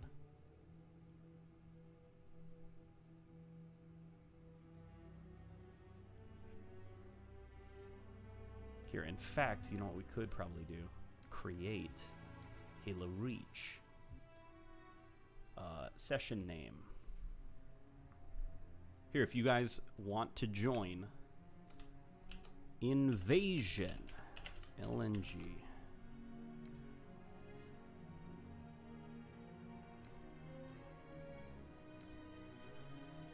Actually, you know what? We don't need invasion, do we? We could just have like regular uh, DMR Slayer. What do you guys think? Max players. We'll set it to like 10 and we'll do like free for all. What do you think? How do I change this?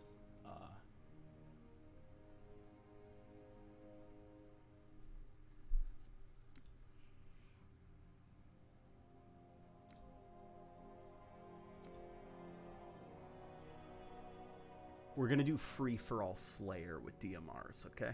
How does that sound?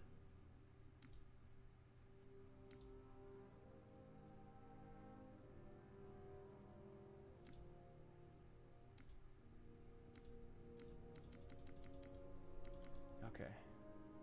Well, none of these are working. Okay, not title update oddball. We want.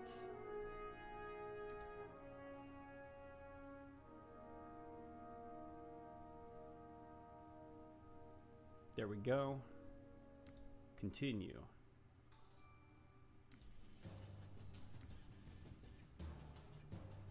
Create match. Wait, no. I've never created a uh, a custom match in the custom games browser before, so this is a very interesting experience for me. A little bit disorganized. Okay, this is teams off. Okay, now how do I customize? Or can I not do it here? Okay. Now create match. Okay, awesome. We're good to go. Um, but LNG, I made invasion for you. Oh no. Did you? I'm sorry if you did. We could check that out after this.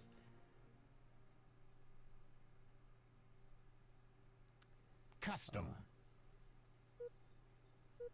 LNG does not read comments confirmed. I don't read comments. Here, let me let me leave this immediately. Okay, let's check out filters. Back. Multiplayer. Custom games browser. Filters. Tags. Uh, okay. Halo Reach, game categories. Okay, let's get invasion going.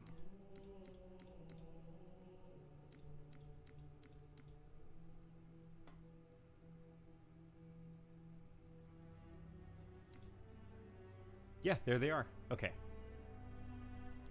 Hmm, let's see. Which one is it that you had going?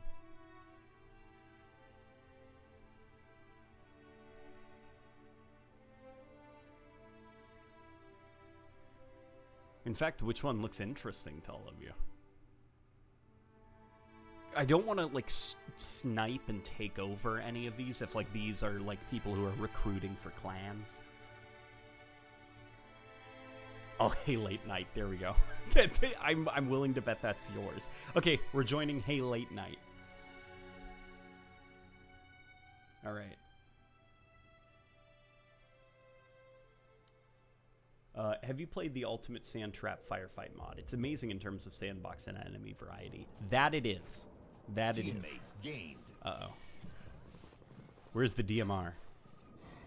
In fact, where am I on the map?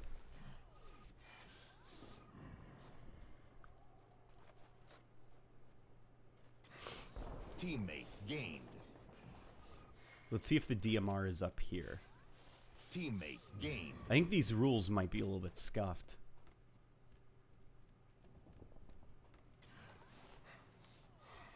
Okay, there's an elite spawning down there. Oh, there we go. Okay, match might be starting now.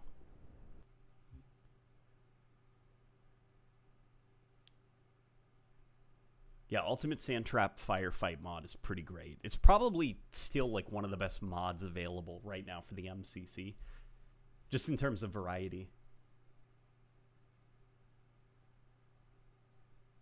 I feel like late night doesn't play MCC all that often. Slayer. Oh no, I play MCC quite a bit. The problem is uh, I do not play the custom games browser all that much.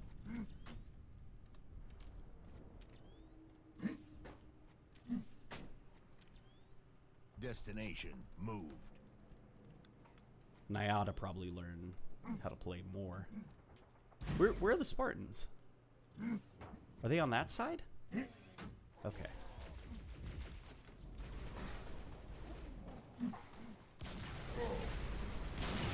The lead.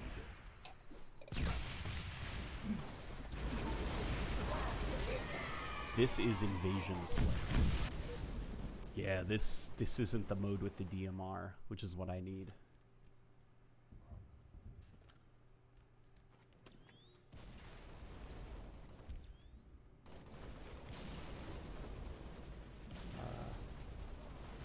Reinforcements.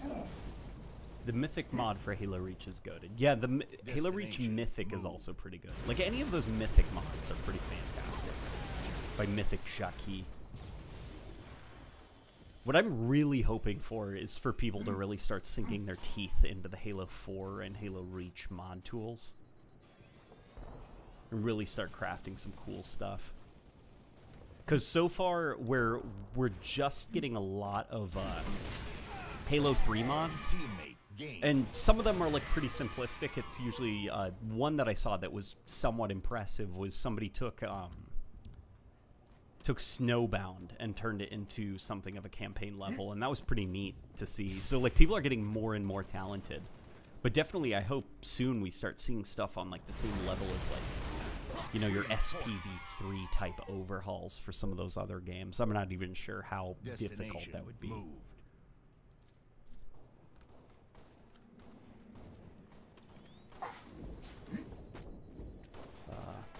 The the DMR comes later in phase two for the Spartans. Does Invasion Slayer have phases of loadouts?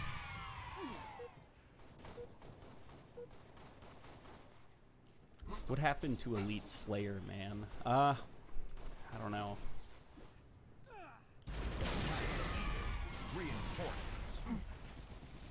What happened to Elite Slayer is the same thing that happened to, uh, well, I guess the rest of the content from Bungie's Halo. Damn. Teammate gained. The Halo 4 reflow mod is pretty cool so far. I saw I just downloaded the Halo 4 reflow mod. And I oughta I oughta oughta check it out. In fact we could probably end the stream with it if you guys would like. It's pretty neat. Almost beat down LNG. Um, Every twice, every Gained the lead. 25 or so kills is a new phase. Got it. Reinforcements. Lost the lead. Destination moved. Tied the lead. Jeez, I'm. The lead. This sucks. this sucks. The Spartans have magnums and we just have plasma, uh, or repeater, plasma repeaters. The leader. Lost the lead. There we go. Tied Okay, now we've got a precision weapon of our own. Lost the lead. Tied the leader. Gained the lead.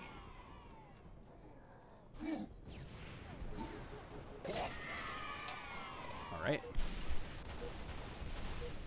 Gonna try some MCC on the Steam Deck. Let me know how it is, man. I'm super jealous of people who own the. Steam Deck. Elite players in Reach have faster shield recharge time, but the actual recharging is slower.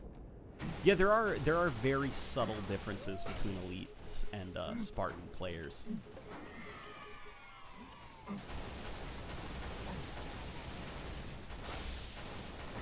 I feel like Invasion uh, would be prime material for a spin-off game because the mainline Halos you don't want to turn them into like a crappy hero shooter where you have to escort a payload or something like that. You know, God forbid. Um, but a spin-off game, that's where you would probably have the creative liberty to start like radically redesigning the core gameplay to serve something like a hero shooter. And I feel like Invasion would be the perfect spot because even Invasion, the worst parts of Invasion, I think, are the parts where it kind of has to rigidly, rigidly stick uh, to the Halo formula. And if it was able to, you know, just break away. Like, could you imagine uh, Spartans? They played more like Call of Duty, where they had sprinting, sliding, uh, aiming down the sights, and all that stuff. But then for elites, uh, you didn't need to do aiming down the sights or anything. You could just fire from your hip with perfect accuracy. You could have like Battlefront style uh, combat rolling. Gain the lead. Destination. You could even like call in Covenant troops. You know, if you're an elite, you have a squad of grunts that'll try to keep up with you.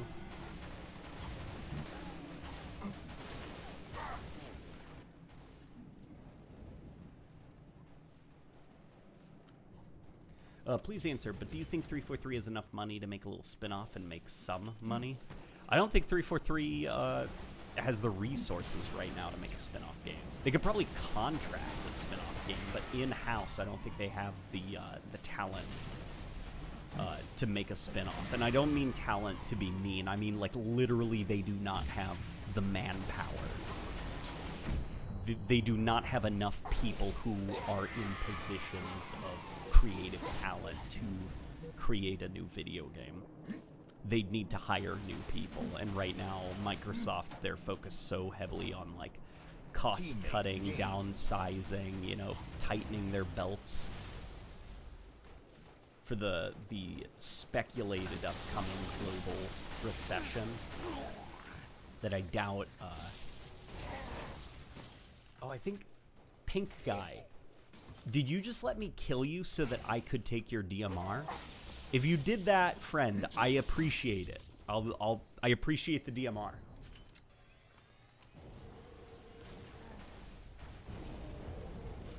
So what you're saying is turning Halo into Battlefield.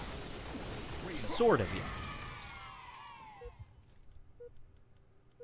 Destination moved. Maybe going a little bit crazier.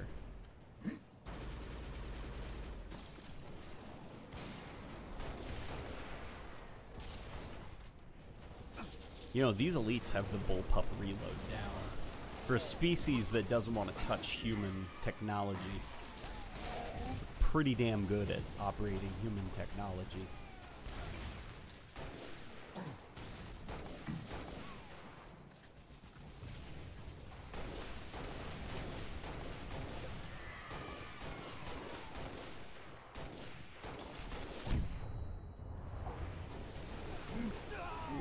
Oof, oof, oof, oof.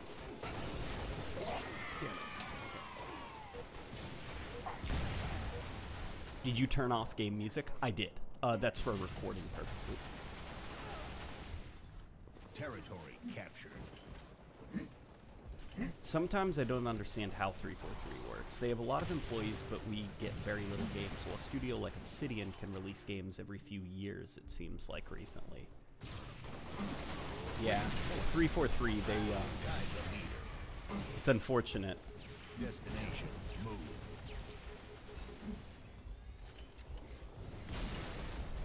Lost the lead. Tied the leader. Gained the lead.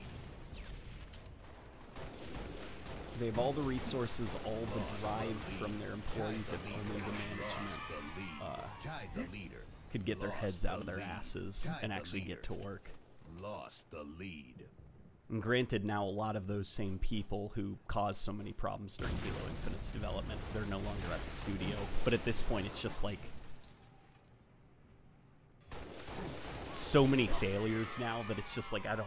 Even now that a lot of the uh, bad apples have left 343, it's like I still don't have faith in the studio's culture that it won't kind of like breed the next generation of uh.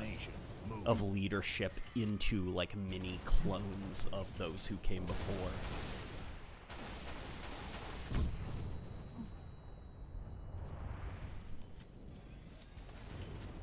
Is the bandit rifle considered a marksman rifle? I'd consider it so. I mean, uh, close to medium to semi long range, uh, precision weapon, headshot damage. Like, it's a marksman rifle. Five minutes remaining. Tied the leader. Gained the lead. Could you do a stream where you just answer chats? I'm sure I could do that. I don't know how entertaining it would be though. Um, Lost the lead. Destination much about the inner workings of 343 do you actually know that you're not at liberty of sharing? Well, I probably couldn't say because I wouldn't be at liberty of sharing. So even if I did know more, I wouldn't be at liberty to say because I'd get in trouble for just saying that I can't say it, you know? Territory captured.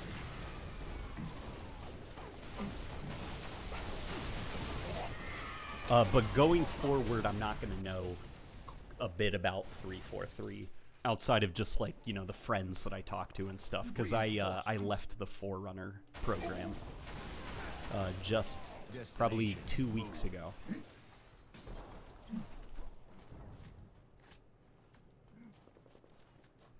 So I'm kind of joining all of you guys now here. I just want to give LNG my, I mean, DMR.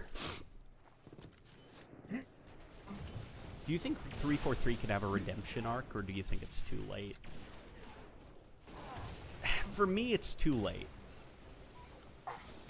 Like, I think the, the damage for the Halo brand is something that Halo's gonna need to recover from for quite a few... It's gonna need a, quite a while to recover from the damage that has been done to it, unfortunately. Like, just Halo isn't the moneymaker anymore. You know, in far as far as like Microsoft's uh, output, Halo is probably right now one of their least profitable franchises. Like, with a company that has Minecraft, Sea of Thieves, Grounded, um, now you've got Bethesda.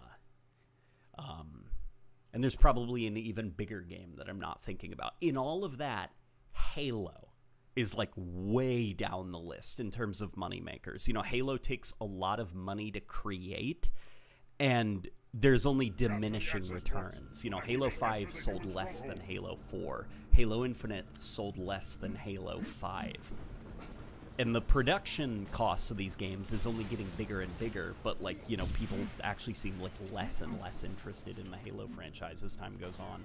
And uh, somebody recently that i spoke to who's not at 343 anymore but certainly was you know the way he put it was yeah halo just doesn't make money anymore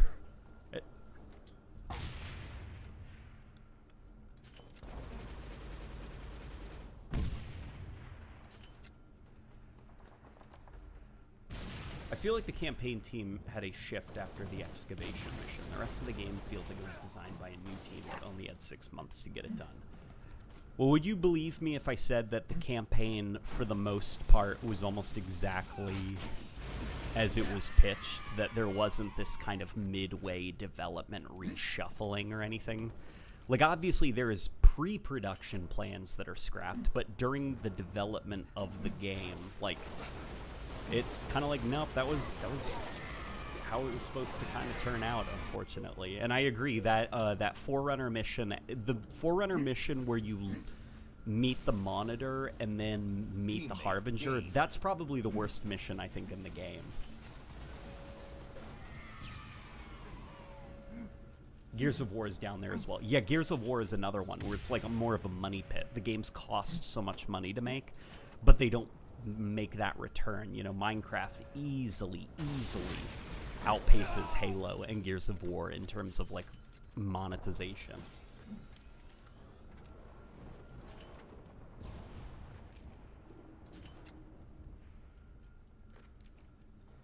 Do they know it's their own fault Halo isn't the cash cow, or the corporate suits still trying to figure that out?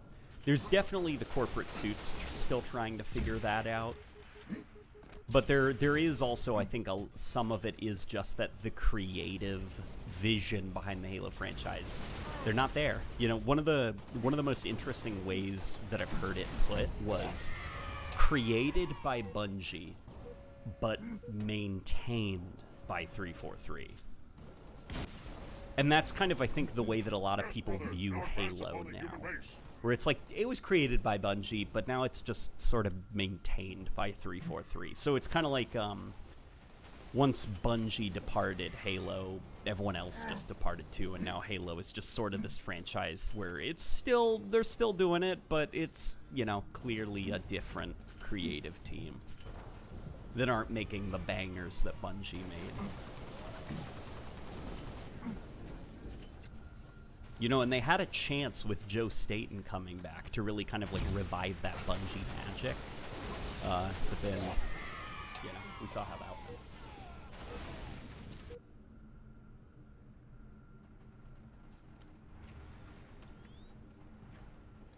The monitors were the best part of Halo Infinite. Yeah, the monitors were great. I don't mean that the monitors were bad or that the characters were bad, more just like the pacing of the level. Uh, I thought Halo Infinite had 20 million players at launch. It had players at launch, but how many of those players spent money? You know, you could have 50 million players, but if only 200,000 of those actually spent money, that wouldn't be nearly enough.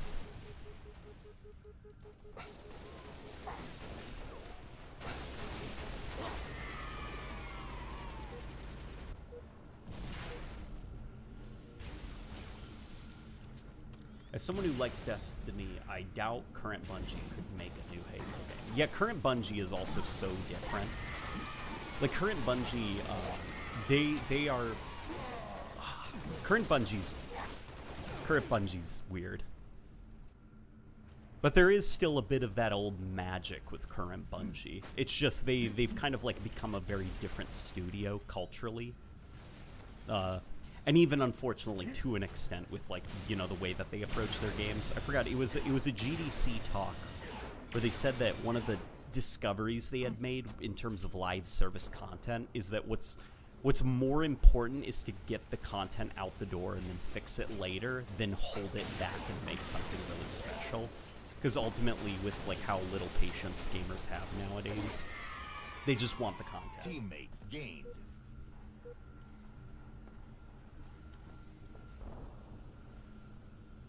Uh, this talk sounds like a pretty good video idea. Would be healthy for the community to realize Halo doesn't need to be tied down to everything Bungie did a decade ago. It doesn't need to be tied down. Um, but I also think, you know, there's a lot of us who just want a good old Halo game. We're never going to get that. And so there's the constant remaining. frustration every time that 343 makes a middle ground game. And it's just kind of this perpetual state of frustration until the eventual burnout. Oh, I think I just, I think TechPon just gave me his DMR. I appreciate it, man. Like for me, definitely, I think emotionally, there's always going to be a part of me where I would not be able to accept something that is different. Remaining. I appreciate it, tech pawn I really appreciate it, man. That's kind of you. There are people who are more willing to accept change. Unfortunately, I am not one of those people. I'm very stubborn. I don't like change. if I could have my way, every single Halo campaign remaining. would have a Warthog run. Um, and I think that there are a lot of people who are also like that. So it's like almost 343's damned if they do, damned if they don't. Um, Halo does not have the staying power that it used to have. Really, the only reason Halo is still relevant is because of nostalgia. Like, our generation has nostalgia for Halo. And as we get older and we lose interest in the Halo franchise, the Halo franchise will increasingly not Securing appeal to the new position is priority generation. And so Halo is just this this franchise that's on the decline. Like it's not growing, it's only shrinking, uh, and the crowd that it does appeal to, uh, they're losing patience. So unless Halo can figure out a way to reinvent itself and appeal to that new generation, I think Halo's on its way out the door. And do it in a way that also makes the old heads happy. And I think something they could definitely uh, do is take a take a look at how the Mandalorian rebooted Star Wars, because I feel like the um the Disney trilogy we've had this discussion before. The Disney Star Wars trilogy is probably a good case study where you've got like old Star Wars fans that miss the glory days of Star Wars, and got, you have new people who have no nostalgia for Star Wars, and so they tried to kind of like you know, spiritually reboot Star Wars with The Force Bravo, Awakens, and it, regardless of our opinions about that movie, as the series went on, Disney's new Star Wars, they Bravo just didn't interest new viewers, and they began to lose the interest of the old Star Wars fans who were sticking around. Uh, and if it wasn't for the Mandalorian, then I think Star Wars would probably be in a very same, uh, very similar situation uh, to Star Wars. Like Mandalorian was a perfect way to reboot Star Wars and get everybody back on board.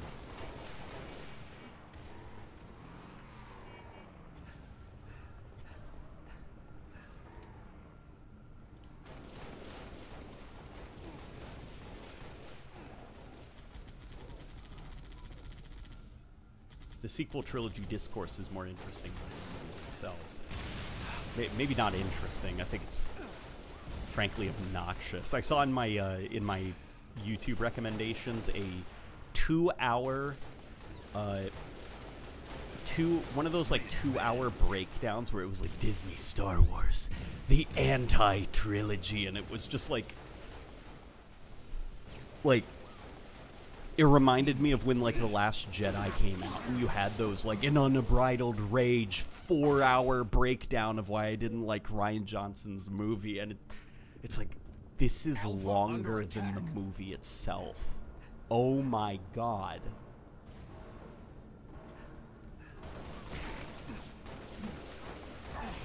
Revenge. Killjoy. Bravo under attack. Probably one of the best parts about watching Star Wars with Rebecca is that we didn't have to have the Star Wars discourse. Uh, Rebecca and I, we were just like, Star Wars movie. And we just watched the Star Wars movies and took them at face value. Even though Rebecca and I do agree that enclosure is breached. plugging Don't let the Covenant Palpatine into the big it. machine, it was very silly. and the fact that his clone was old and creepy, even though that's not how cloning works.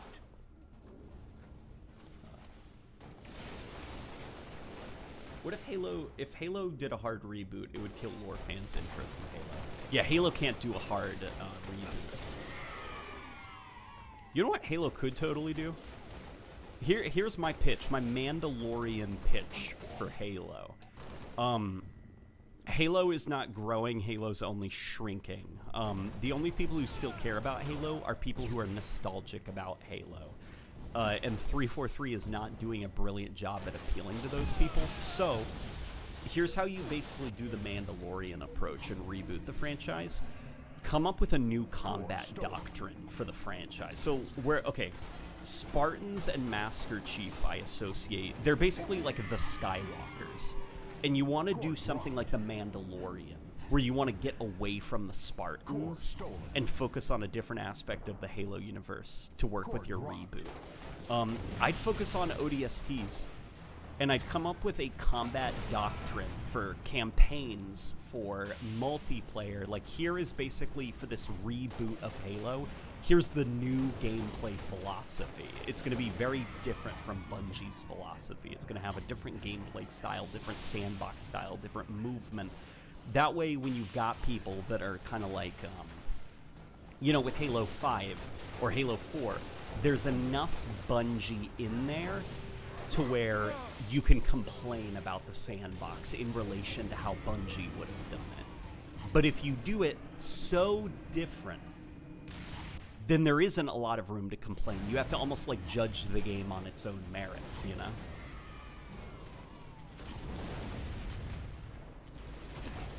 Spaceship Show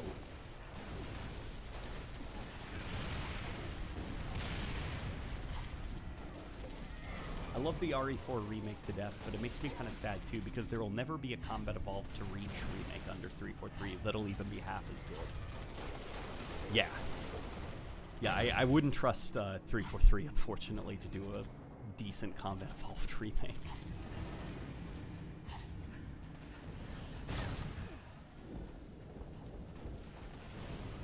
So Call of Duty with aliens. N- doesn't have to be Call of Duty with aliens. It doesn't need to play like Call of Duty. It can play like something completely different. Doesn't even need to be a first-person shooter, you know? Banshee and Reach is OP. Yeah, the Banshee and Reach is pretty unstoppable. One minute remaining. Core stolen. Call of Duty suffers from what the MCU suffers from. No matter how little or a lot of money goes in, there will always be millions of people who will play no matter what, which always keeps the profits coming. Well, I don't know, man. Um, I don't know, man, because uh,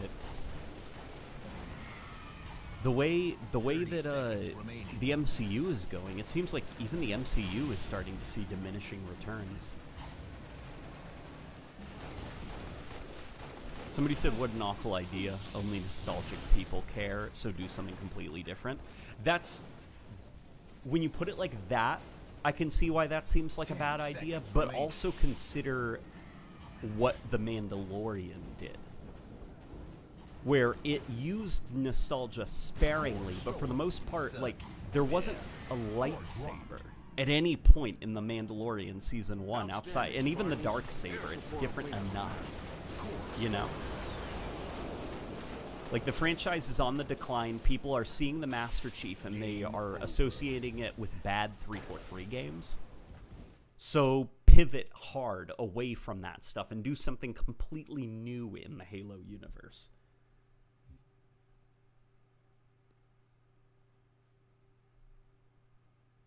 Got it. Warthog Racing game. Uh, what are your views on the Halo 5 Arbiter armor? I think it has a very nice ancient Roman armor style. Yeah, the the uh, Arbiter's armor in Halo uh, 5 is pretty cool looking. I even think it fits the body type very well.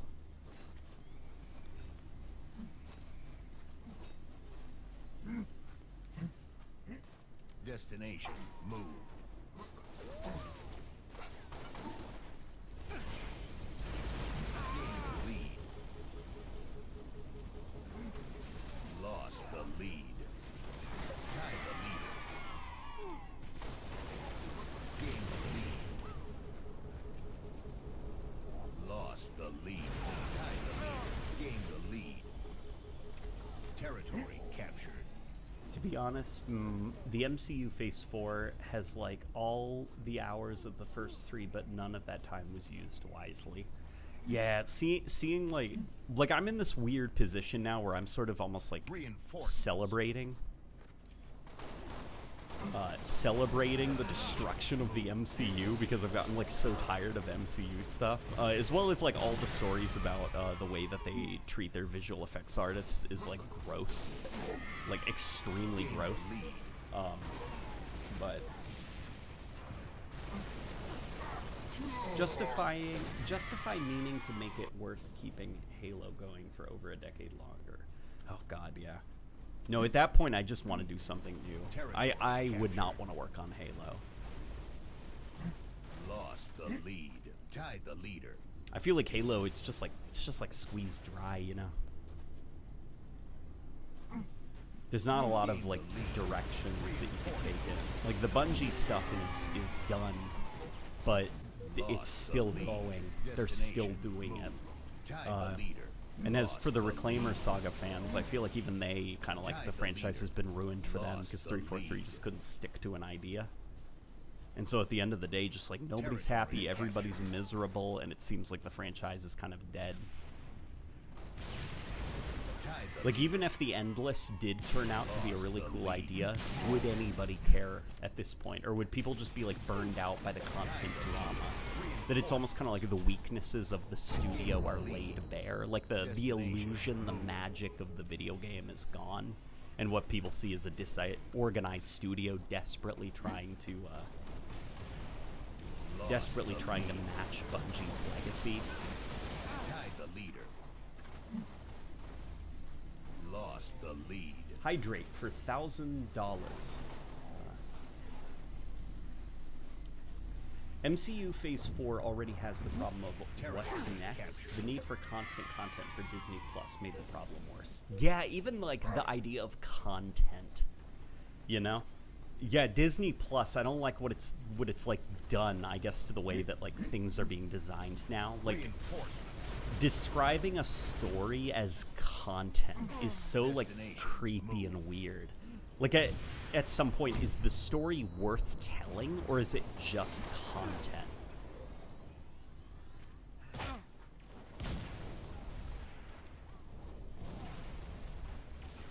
Like, it, it just maybe it's just me, but it always makes my skin crawl. The way that they describe new Marvel shows or movies as the next batch of content. It's just like these aren't stories that are demanding to be told because they come from a creative vision. They're being told because they they fill a release window.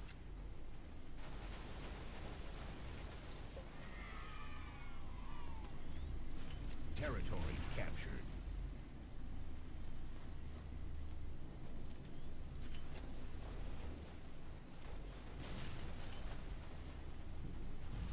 Tied the leader.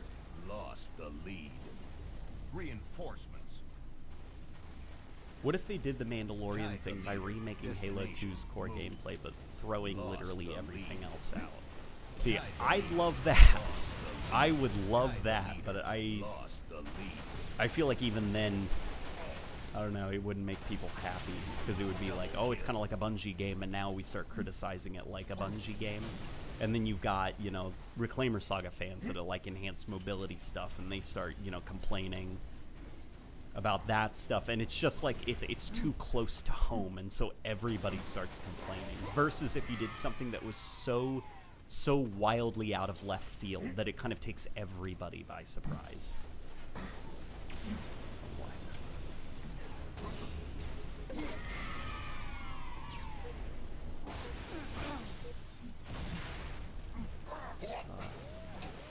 Oh god, I never heard of that content thing. Yeah.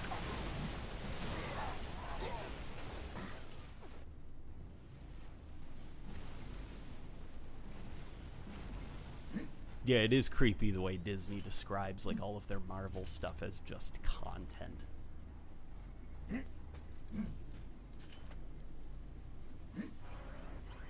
The next Halo thing is a mod. It could be. Although that also requires like, you know, the suits at 343 to also pay attention to the modding scene and I feel like they kind of they kind of don't. Because what they with modding that's free content. That's not monetizable. What they want is something super monetizable and marketable. It's like the same reason we'll probably never ever see um, like a a Arma Milsim type Halo game because it's just not marketable enough, not monetizable enough.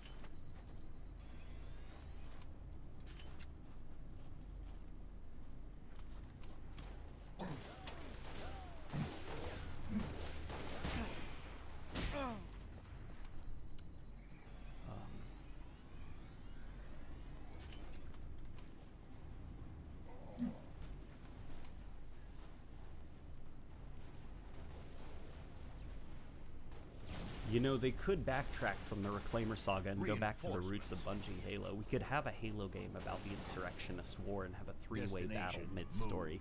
We could, but it still wouldn't be Bungie, you know? And that, I think, is one of the core problems.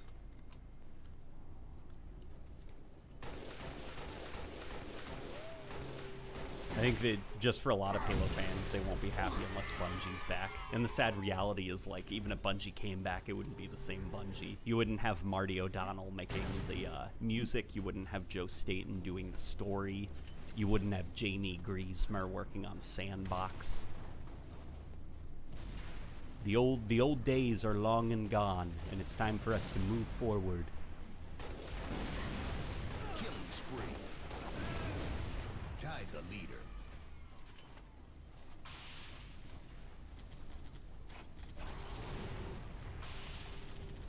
Why haven't they done a Halo Tactics game?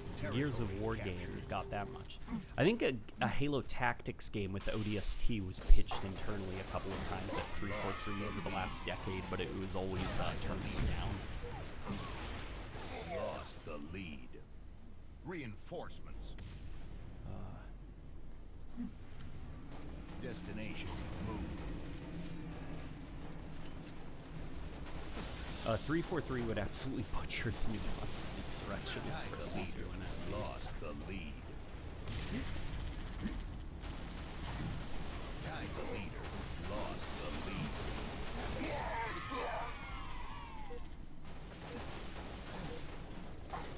Tied the lead. What was the idea of Bungie's Halo 4 if they had one? Lost Um, the lead. I've only heard from one unreliable source. Uh, Bungie didn't have grand plans for a Halo 4. Like, they didn't have a design doc and everything. It was always just conversations. Uh, and this guy, I trust him occasionally, but sometimes he does confuse his own theorizing with. And the way he described it was they were discussing the idea of merging the story of Halo into Marathon. So the idea was it would be Halo 4 would be a very, very uh, obvious reboot of the Marathon IP, just with the Master Chief instead of uh, I forgot I forgot the name of him, the security officer from Marathon.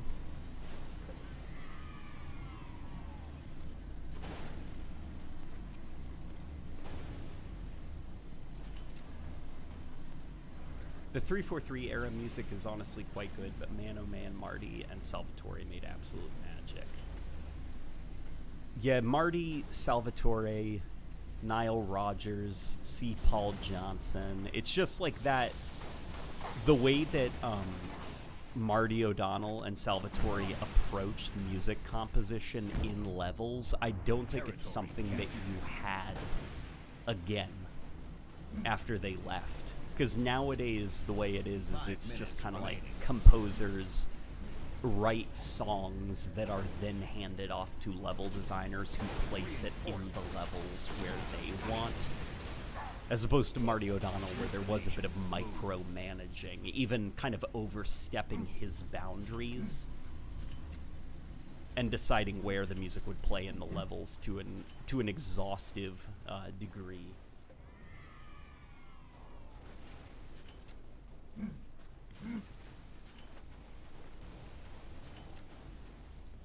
Mjolnir Recon something something. Yeah, is the character from uh from Marathon.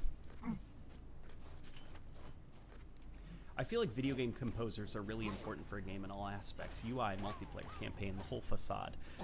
This is this is kind of like a bit of a of a, of a, a crazy uh, opinion that I have. I feel like in terms of like video games, uh, the music composer should also be the lead sound designer.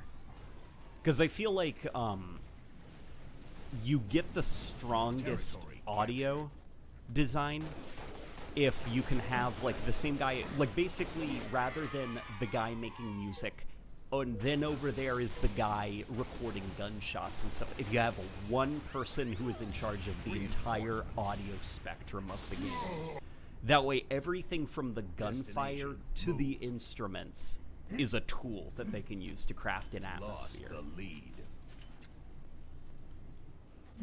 because that is a big part of like what I think the charm of like Bungie's audio design. Somebody described it as uh, Reach sounding weak earlier.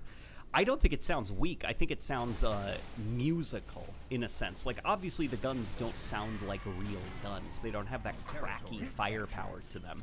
But when taking into account the sounds of the Spartans running around, the sounds of grenades going off, and the sound of like you know Marty and Salvatori's music going on, like all of the sounds fit.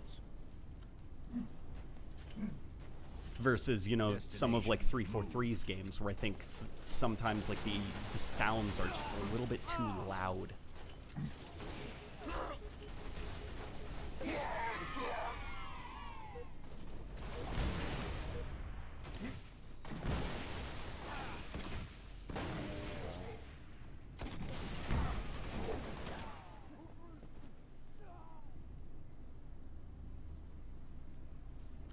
Uh, when old Bungie was asked if they would make a Marathon 4, they mm. said it would just be a painting of Bungie developers kicking a horse, so I think they were even tired before Combat Evolved. Yeah.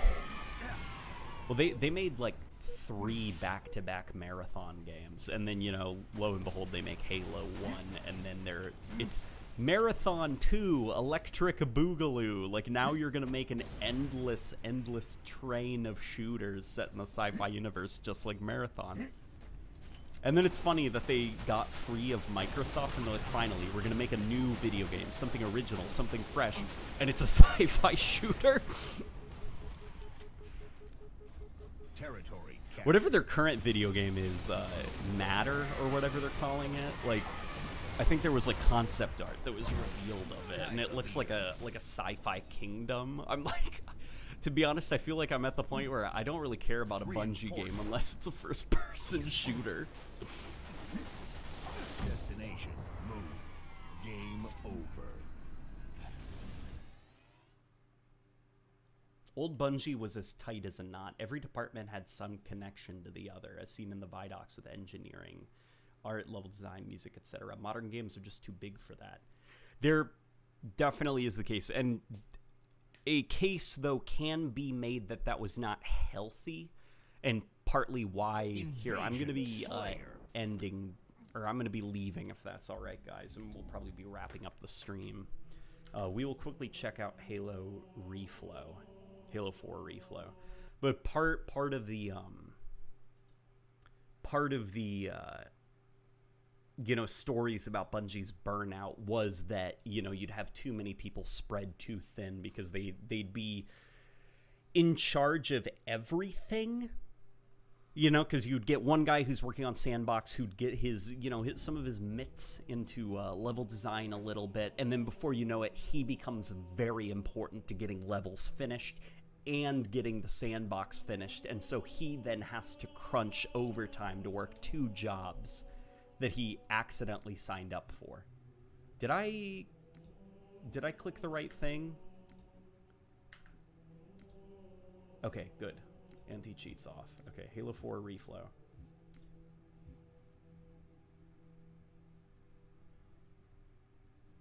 Let's give Halo 4 reflow a try.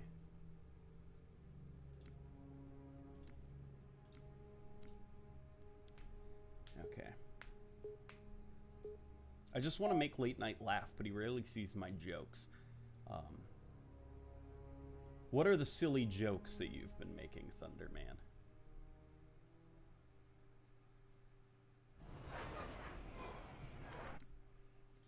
Here, let me also turn. Okay, good. Music's off. How many ships made it through the roof? Plenty. Uh, Why? All right. We. Still need a ride home. Oh wow, the sprint's a lot faster. I think.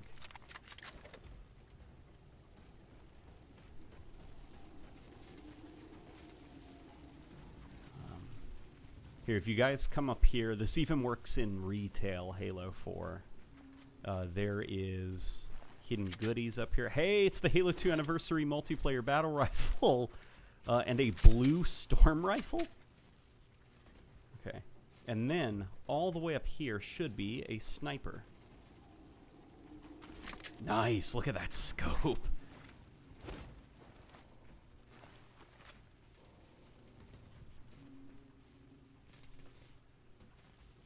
All right.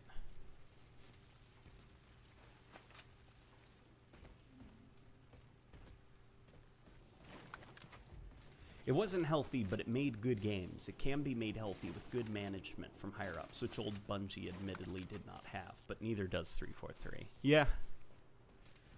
I think anything's possible. Um, do you think Gears of War walked so Fortnite could run? Uh, lots of original ideas, such as one-shot snipers and shotguns, sort of stem from Gears multiplayer. Um,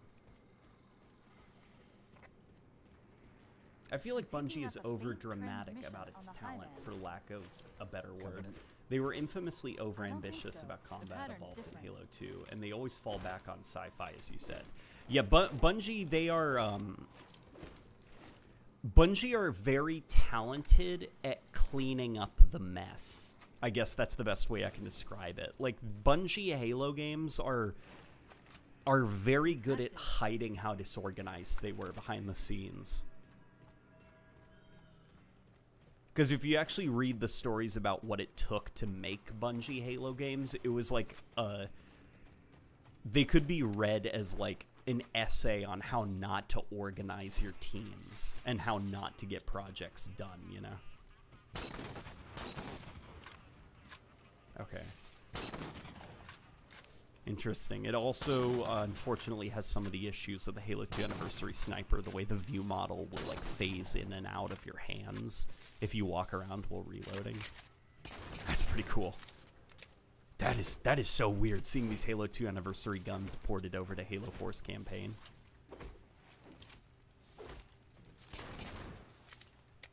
And it's the same Halo Reach animations.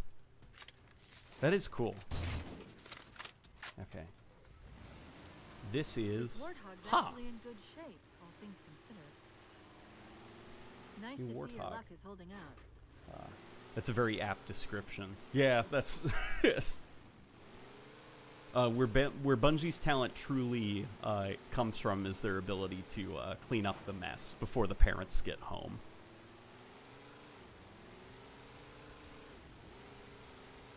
But man, were their games good. Yeah, their games were pretty good. Chief, And I think it, it might come from just like really I didn't wanna strong mention it, seeing presentation. as how it's a complete long Because you ultimately you did have like those those possible that getting home could help me egomaniacs who also had a lot of talent, like Marty O'Donnell, uh, that were going far as I crazy on sound design and ever generated with micromanaging how the music was put into the Halsey, to be games. And then you also had may be possible to pretty solid combat neural net by loops and a focus on sandbox interactions, which makes the getting back to world feel a little bit more alive. The way critters interact with their environments, you know, boxes go flying everywhere and stuff. Uh, you know, and those those give enough wiggle room for you to not notice how little sense the stories make sometimes. Because you're just like, wow, that piano was really cool. Scouting party, they found us. The battle rifle model is so clean, and then the firing sound just makes it curse. Let me see what what's the firing sound. Oh, it's just the Halo 4 firing sound. Okay. Even the grunts got little updates. Oh, is just is this mechanically just the Halo 4 pistol? It's literally just a reskin. It might be just a reskin. Although I did read that there was also some like sandbox balance changes. Hang on. This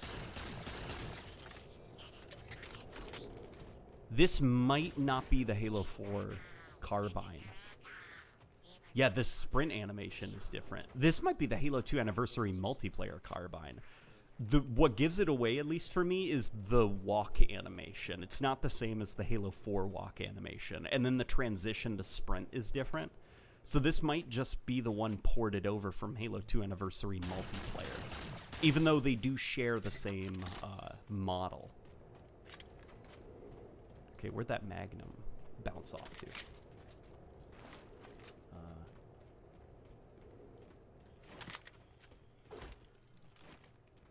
Halo Infinite DLC Master Chief finds a Chozo temple on Zeta Halo. That would be pretty cool, right? Crossover stuff.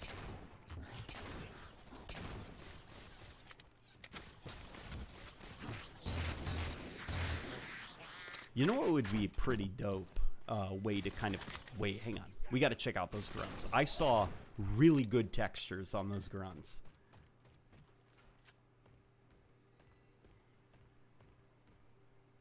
Is this? Are these Halo Five assets?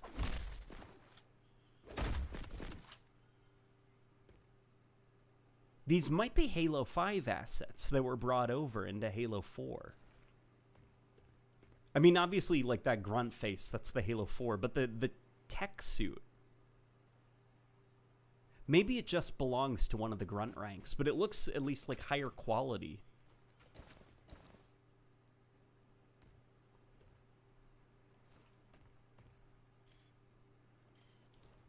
Huh, okay. That would be neat if people were like using AI upscaling to upres some of the textures in Halo 4. Or I don't know if maybe the higher quality textures are available in Halo 4 and they're like buried somewhere in the game's code. Only for the Xbox 360 to brutally, brutally compress it.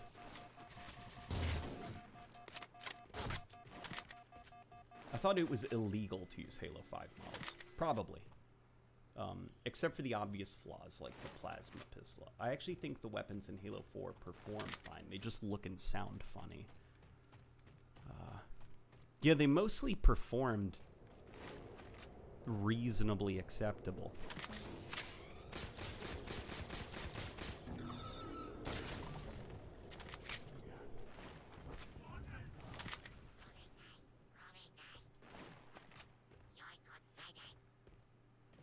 It's four. It's the space grunts. Okay, they just threw the space grunt tech suit on the Halo 4 bodies. Got it.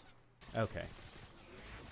But I swear, like, there's more detail coming out of the bodies, at least. At least the armor. Maybe I just haven't played Halo 4 in a while. Oh boy. I wonder if under the hood there's still stuff uh, that allows grunt methane tanks to explode. Because that's one of the things that they had to cut from Halo 4, just because of like memory limitations. Because Halo 4 was around the time when like the poor Xbox 360 was like really, really, really showing its age. And so you had a lot of stuff that had to be cut from just like combat behavior, like being able to blow off their tanks and see them go flying around.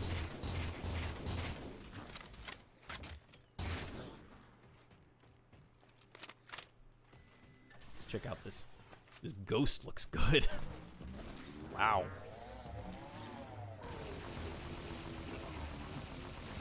I'm still trying to get used to the fact that all of like the the bloom was disabled, so it makes Halo 4 look like listen, like art art discussions aside, Halo 4 was still designed with the bloom in mind. So when I boost the ghost, the uh the ghost effect you know, like the energy effects look kind of like empty, like they're missing something because the uh, the bloom has just been completely yanked from them.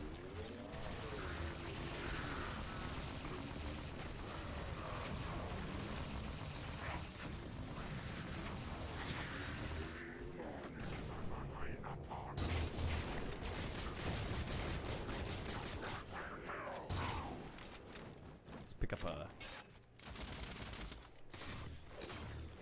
That is certainly a needler. Nothing really to add there. Let's pick up the concussion rifle. Okay, it's just the Halo 4 concussion rifle. No differences there. Um,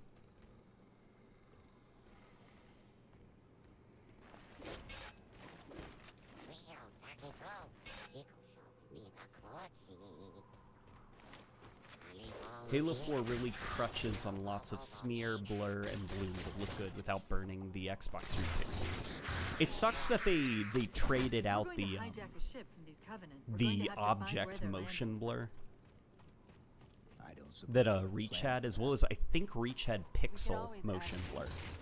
At least how it was like the the edges of your screen would get motion blur when you were moving or turning the camera, but the center would stay uh, sharp. That way you had clear visibility. It's a technique that they refined and carried on into Destiny, and I think it looks really, really good in Destiny too.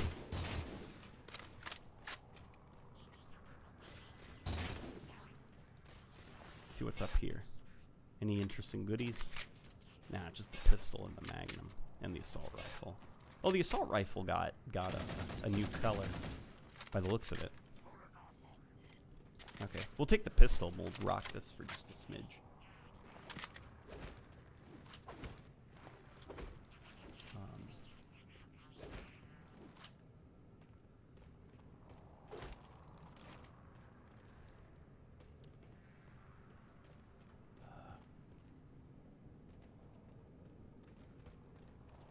Halo 4 was released as an Xbox One launch title, it would have been received better. Well, it's hard to say if it was gonna stay exactly the same, like same uh, philosophies, you know, for combat, like the multiplayer at least, like the loadouts. I'm sure there would have still been like a lot of backlash. I don't know if like the the power of the Xbox One would have been enough to kind of save people's perceptions. But yeah, a lot of Halo 4, uh, its ambitions had to be scaled down just due to the 360.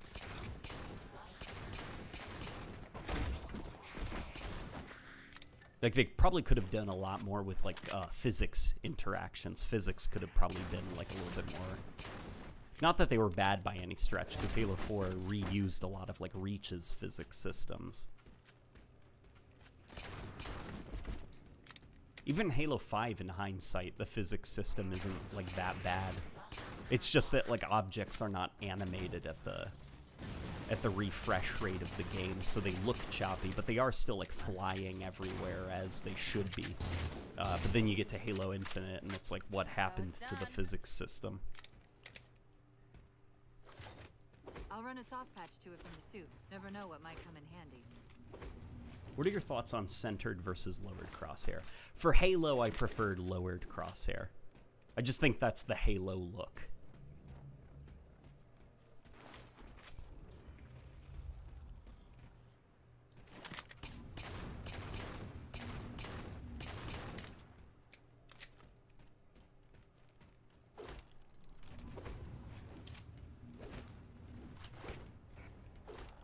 There's that phantom signal again.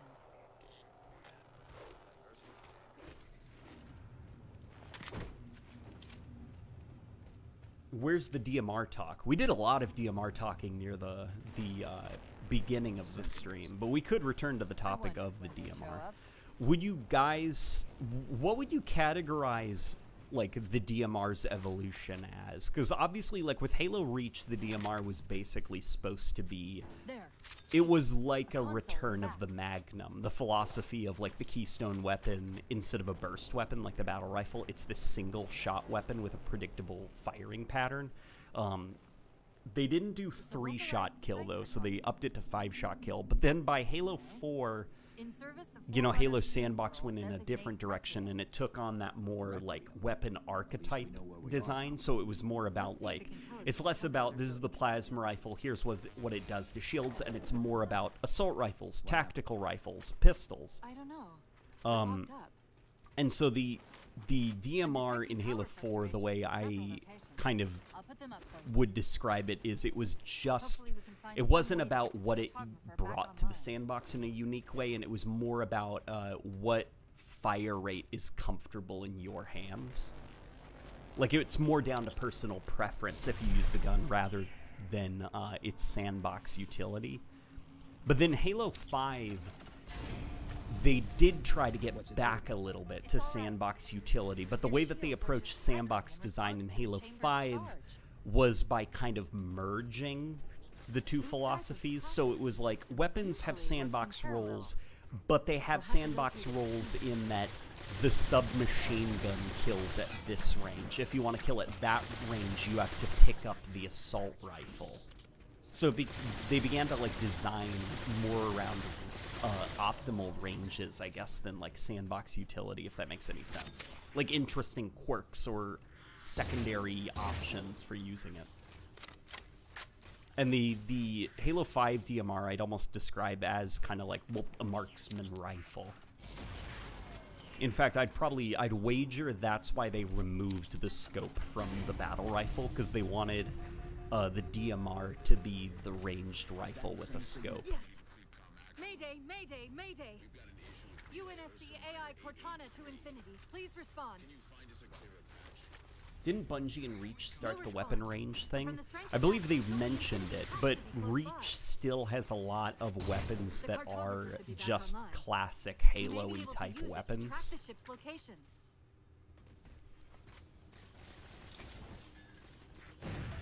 Like Halo Reach used some of that, but I wouldn't say that's what informed its sandbox philosophy, if that makes any sense. Um, the DMR started as a high skill but finicky mistress. Reach uh, title update really lowered the gap in ceiling and made it more consistent. Rest of the games didn't distinguish precision weapons enough. I'm not sure if I'd even say that the Reach DMR took skill. Because I'm, I'm not sure if like RNG Bloom is something I'd call skill, you know? That feels more of like a like a lazy man's way of getting out of having a in-depth projectile system where you have to lead shots.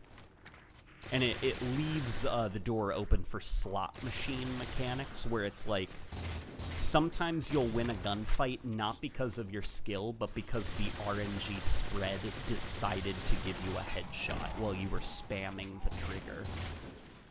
And I feel like that's that's not fair for a competitive weapon to basically be like, it, sometimes it hits the head if you're spamming the trigger.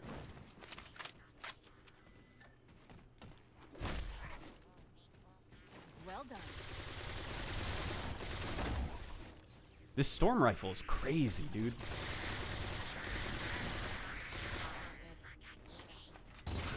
Alright. I think we're about to get introduced to more weapons, such as the rocket launcher, shotgun, and stuff.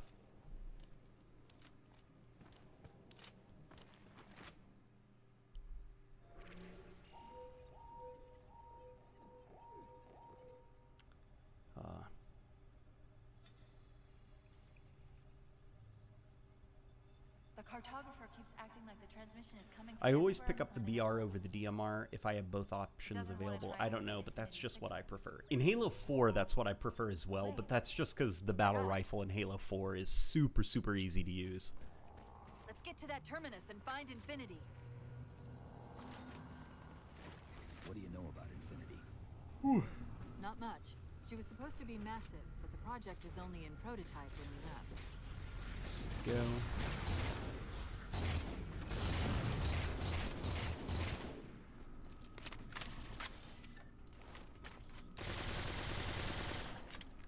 There we go. Uh, here's some assault rifle ammo. Uh, let's find that shotgun because it's it's the Halo 2 uh, anniversary shotgun that was added to this uh, campaign.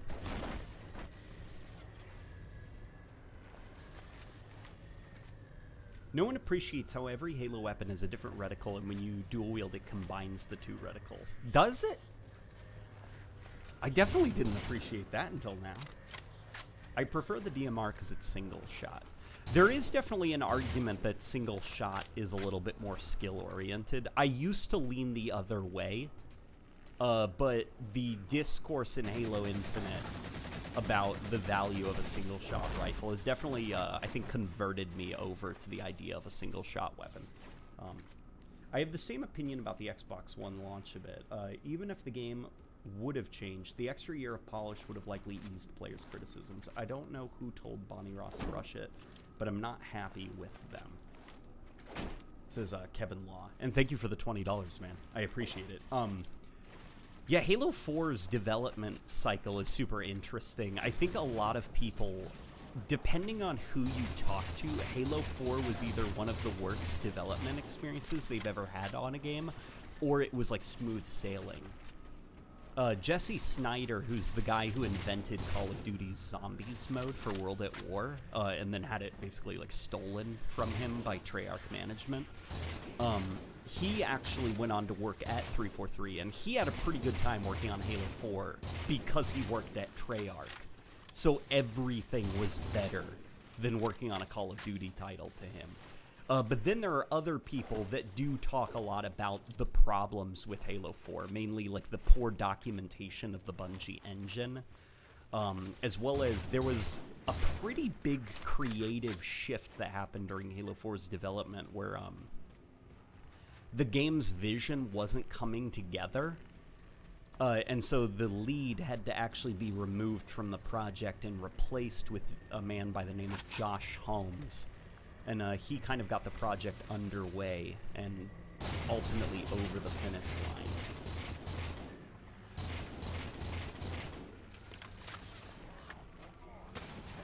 Oh yeah. It is it is still bonkers seeing these Halo 2 anniversary multiplayer assets in the Halo 4 engine.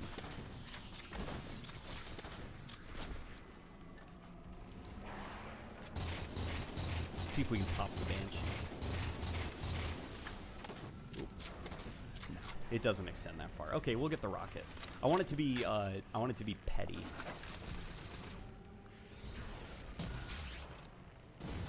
we go. All right. Now let's pick up that that battle rifle again. I swear the Bungie and I swear that Bungie and game engines run on Black Magic or the Bungie game engines. Uh, the Bungie engines don't run on Black Magic. They're just like most in-house engines. They're they're very very very specific uh, and kind of convoluted. I mean, once you know how it works, it makes sense. But you know, explaining to somebody who's not familiar with your workflow how a Bungie engine works is probably a nightmare and probably very very weird. That's like, have you ever seen um the video of the of the uh, Valve programmers venting to each other in the uh, code of Team Fortress 2 about how like insane the Team Fortress 2 engine is under the hood? It's kind of like that.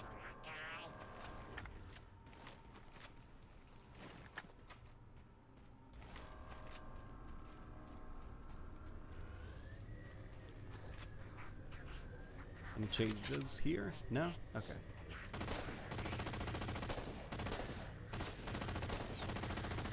I probably would have made the saw a darker shade of uh, metal, like make it almost um.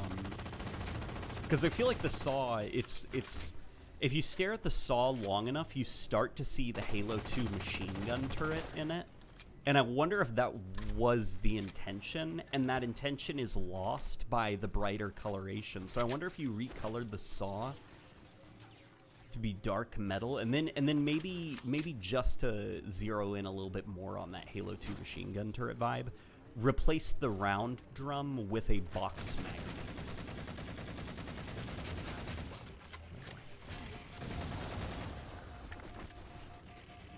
come on ghost oh he's dead all right let's go this way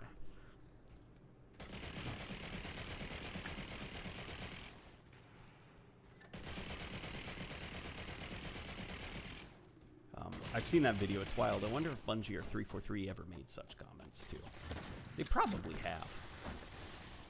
In fact, there, there is a lot of like weird stuff hidden in Combat Evolved, like developer comments hidden in Combat Evolved. If you follow like Lord Zed on Twitter, uh, he shares quite a few of them, and they're pretty funny. Um, you into a Metroid Prime MCC campaign mod replay of play Samus? I think I've seen it uh, on the workshop. Is it good?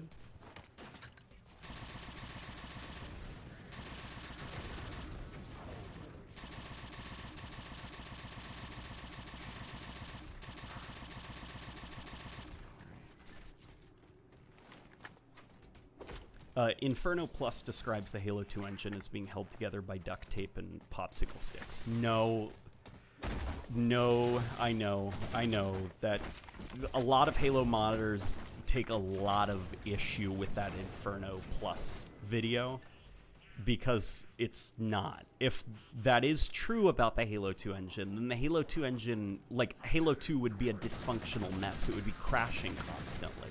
It would almost be like Halo Infinite. Um, Halo 2, the engine is fine. It's good. It's solid. It is not held together with popsicle sticks. It's held together with solid coding. The problem with the way that Inferno Plus went about that is he's modding the game without mod tools. the Covenant net's So of course it's going to feel crazy to him. He's not actually using proper just issued a general tools. They're moving all ground teams to So a, a lot of Halo modders have taken issue with that because it implies that like the Halo 2 engine is messier than it actually is, which it isn't. The Halo 2 engine is competent.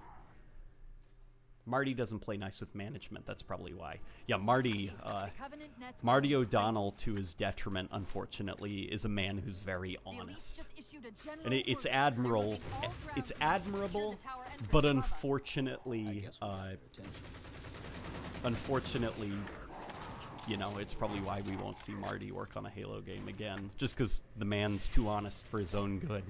he doesn't take any nonsense. This is the Halo 2 anniversary uh, animation set. Look how much faster it is. That's cool. Dude, look how fast the energy sword is now.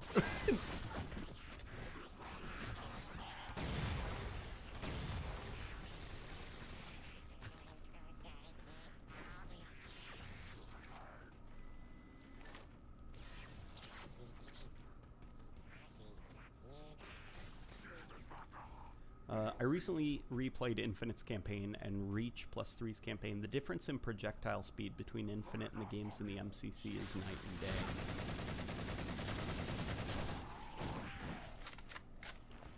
Come on, let's go get him. Yeah, look at this energy sword. Look how crazy that is.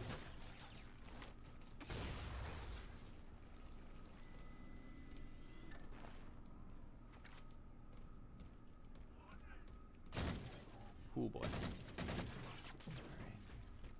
Let's run up here. This might be the Halo 2 anniversary multiplayer beam rifle. Just the way it's being held is what makes me think, at least. And we're nearing the end of the level. Let's see what's up here.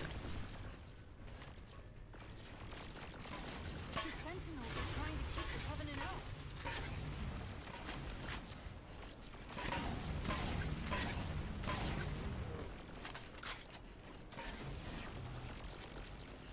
Those definitely aren't the Halo 2 Sniper Jackals. No, they're not the Halo 2 Sniper Jackals, but the beam rifle, I think, is the one from Halo 2 Anniversary multiplayer. Just because of the way it's being held by the character, like the view model.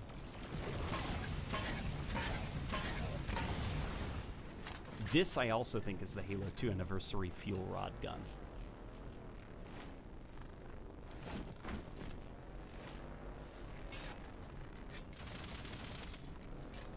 Where's the terminus? The map placed it at the top of the tower. Uh, the main reason he's still in game development is because he founded a studio that he's working at right now. He'd be untouchable otherwise. Um, I think he'd still be untouchable otherwise. Is Marty still working at High? I think it's it's Highwire Games, right?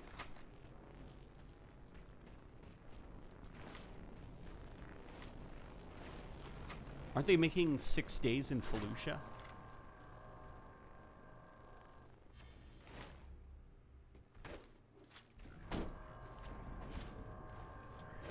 Three four three beam rifle looks like a bass guitar. It looks like yeah, it does look kind of like a bass guitar. It also looks like a like a a a um. It looks like a focus rifle with a snail shell almost. Like the the profile of it reminds me a little bit more of a focus rifle than it does a beam rifle, doesn't it? That might just be like a holdover from Halo Reach because at the time, you know, the focus rifle was the Covenant sniper, you know, because Reach had just come out. And so when you build a sequel, you know, you kind of stylize it off of what came before. Alrighty, guys.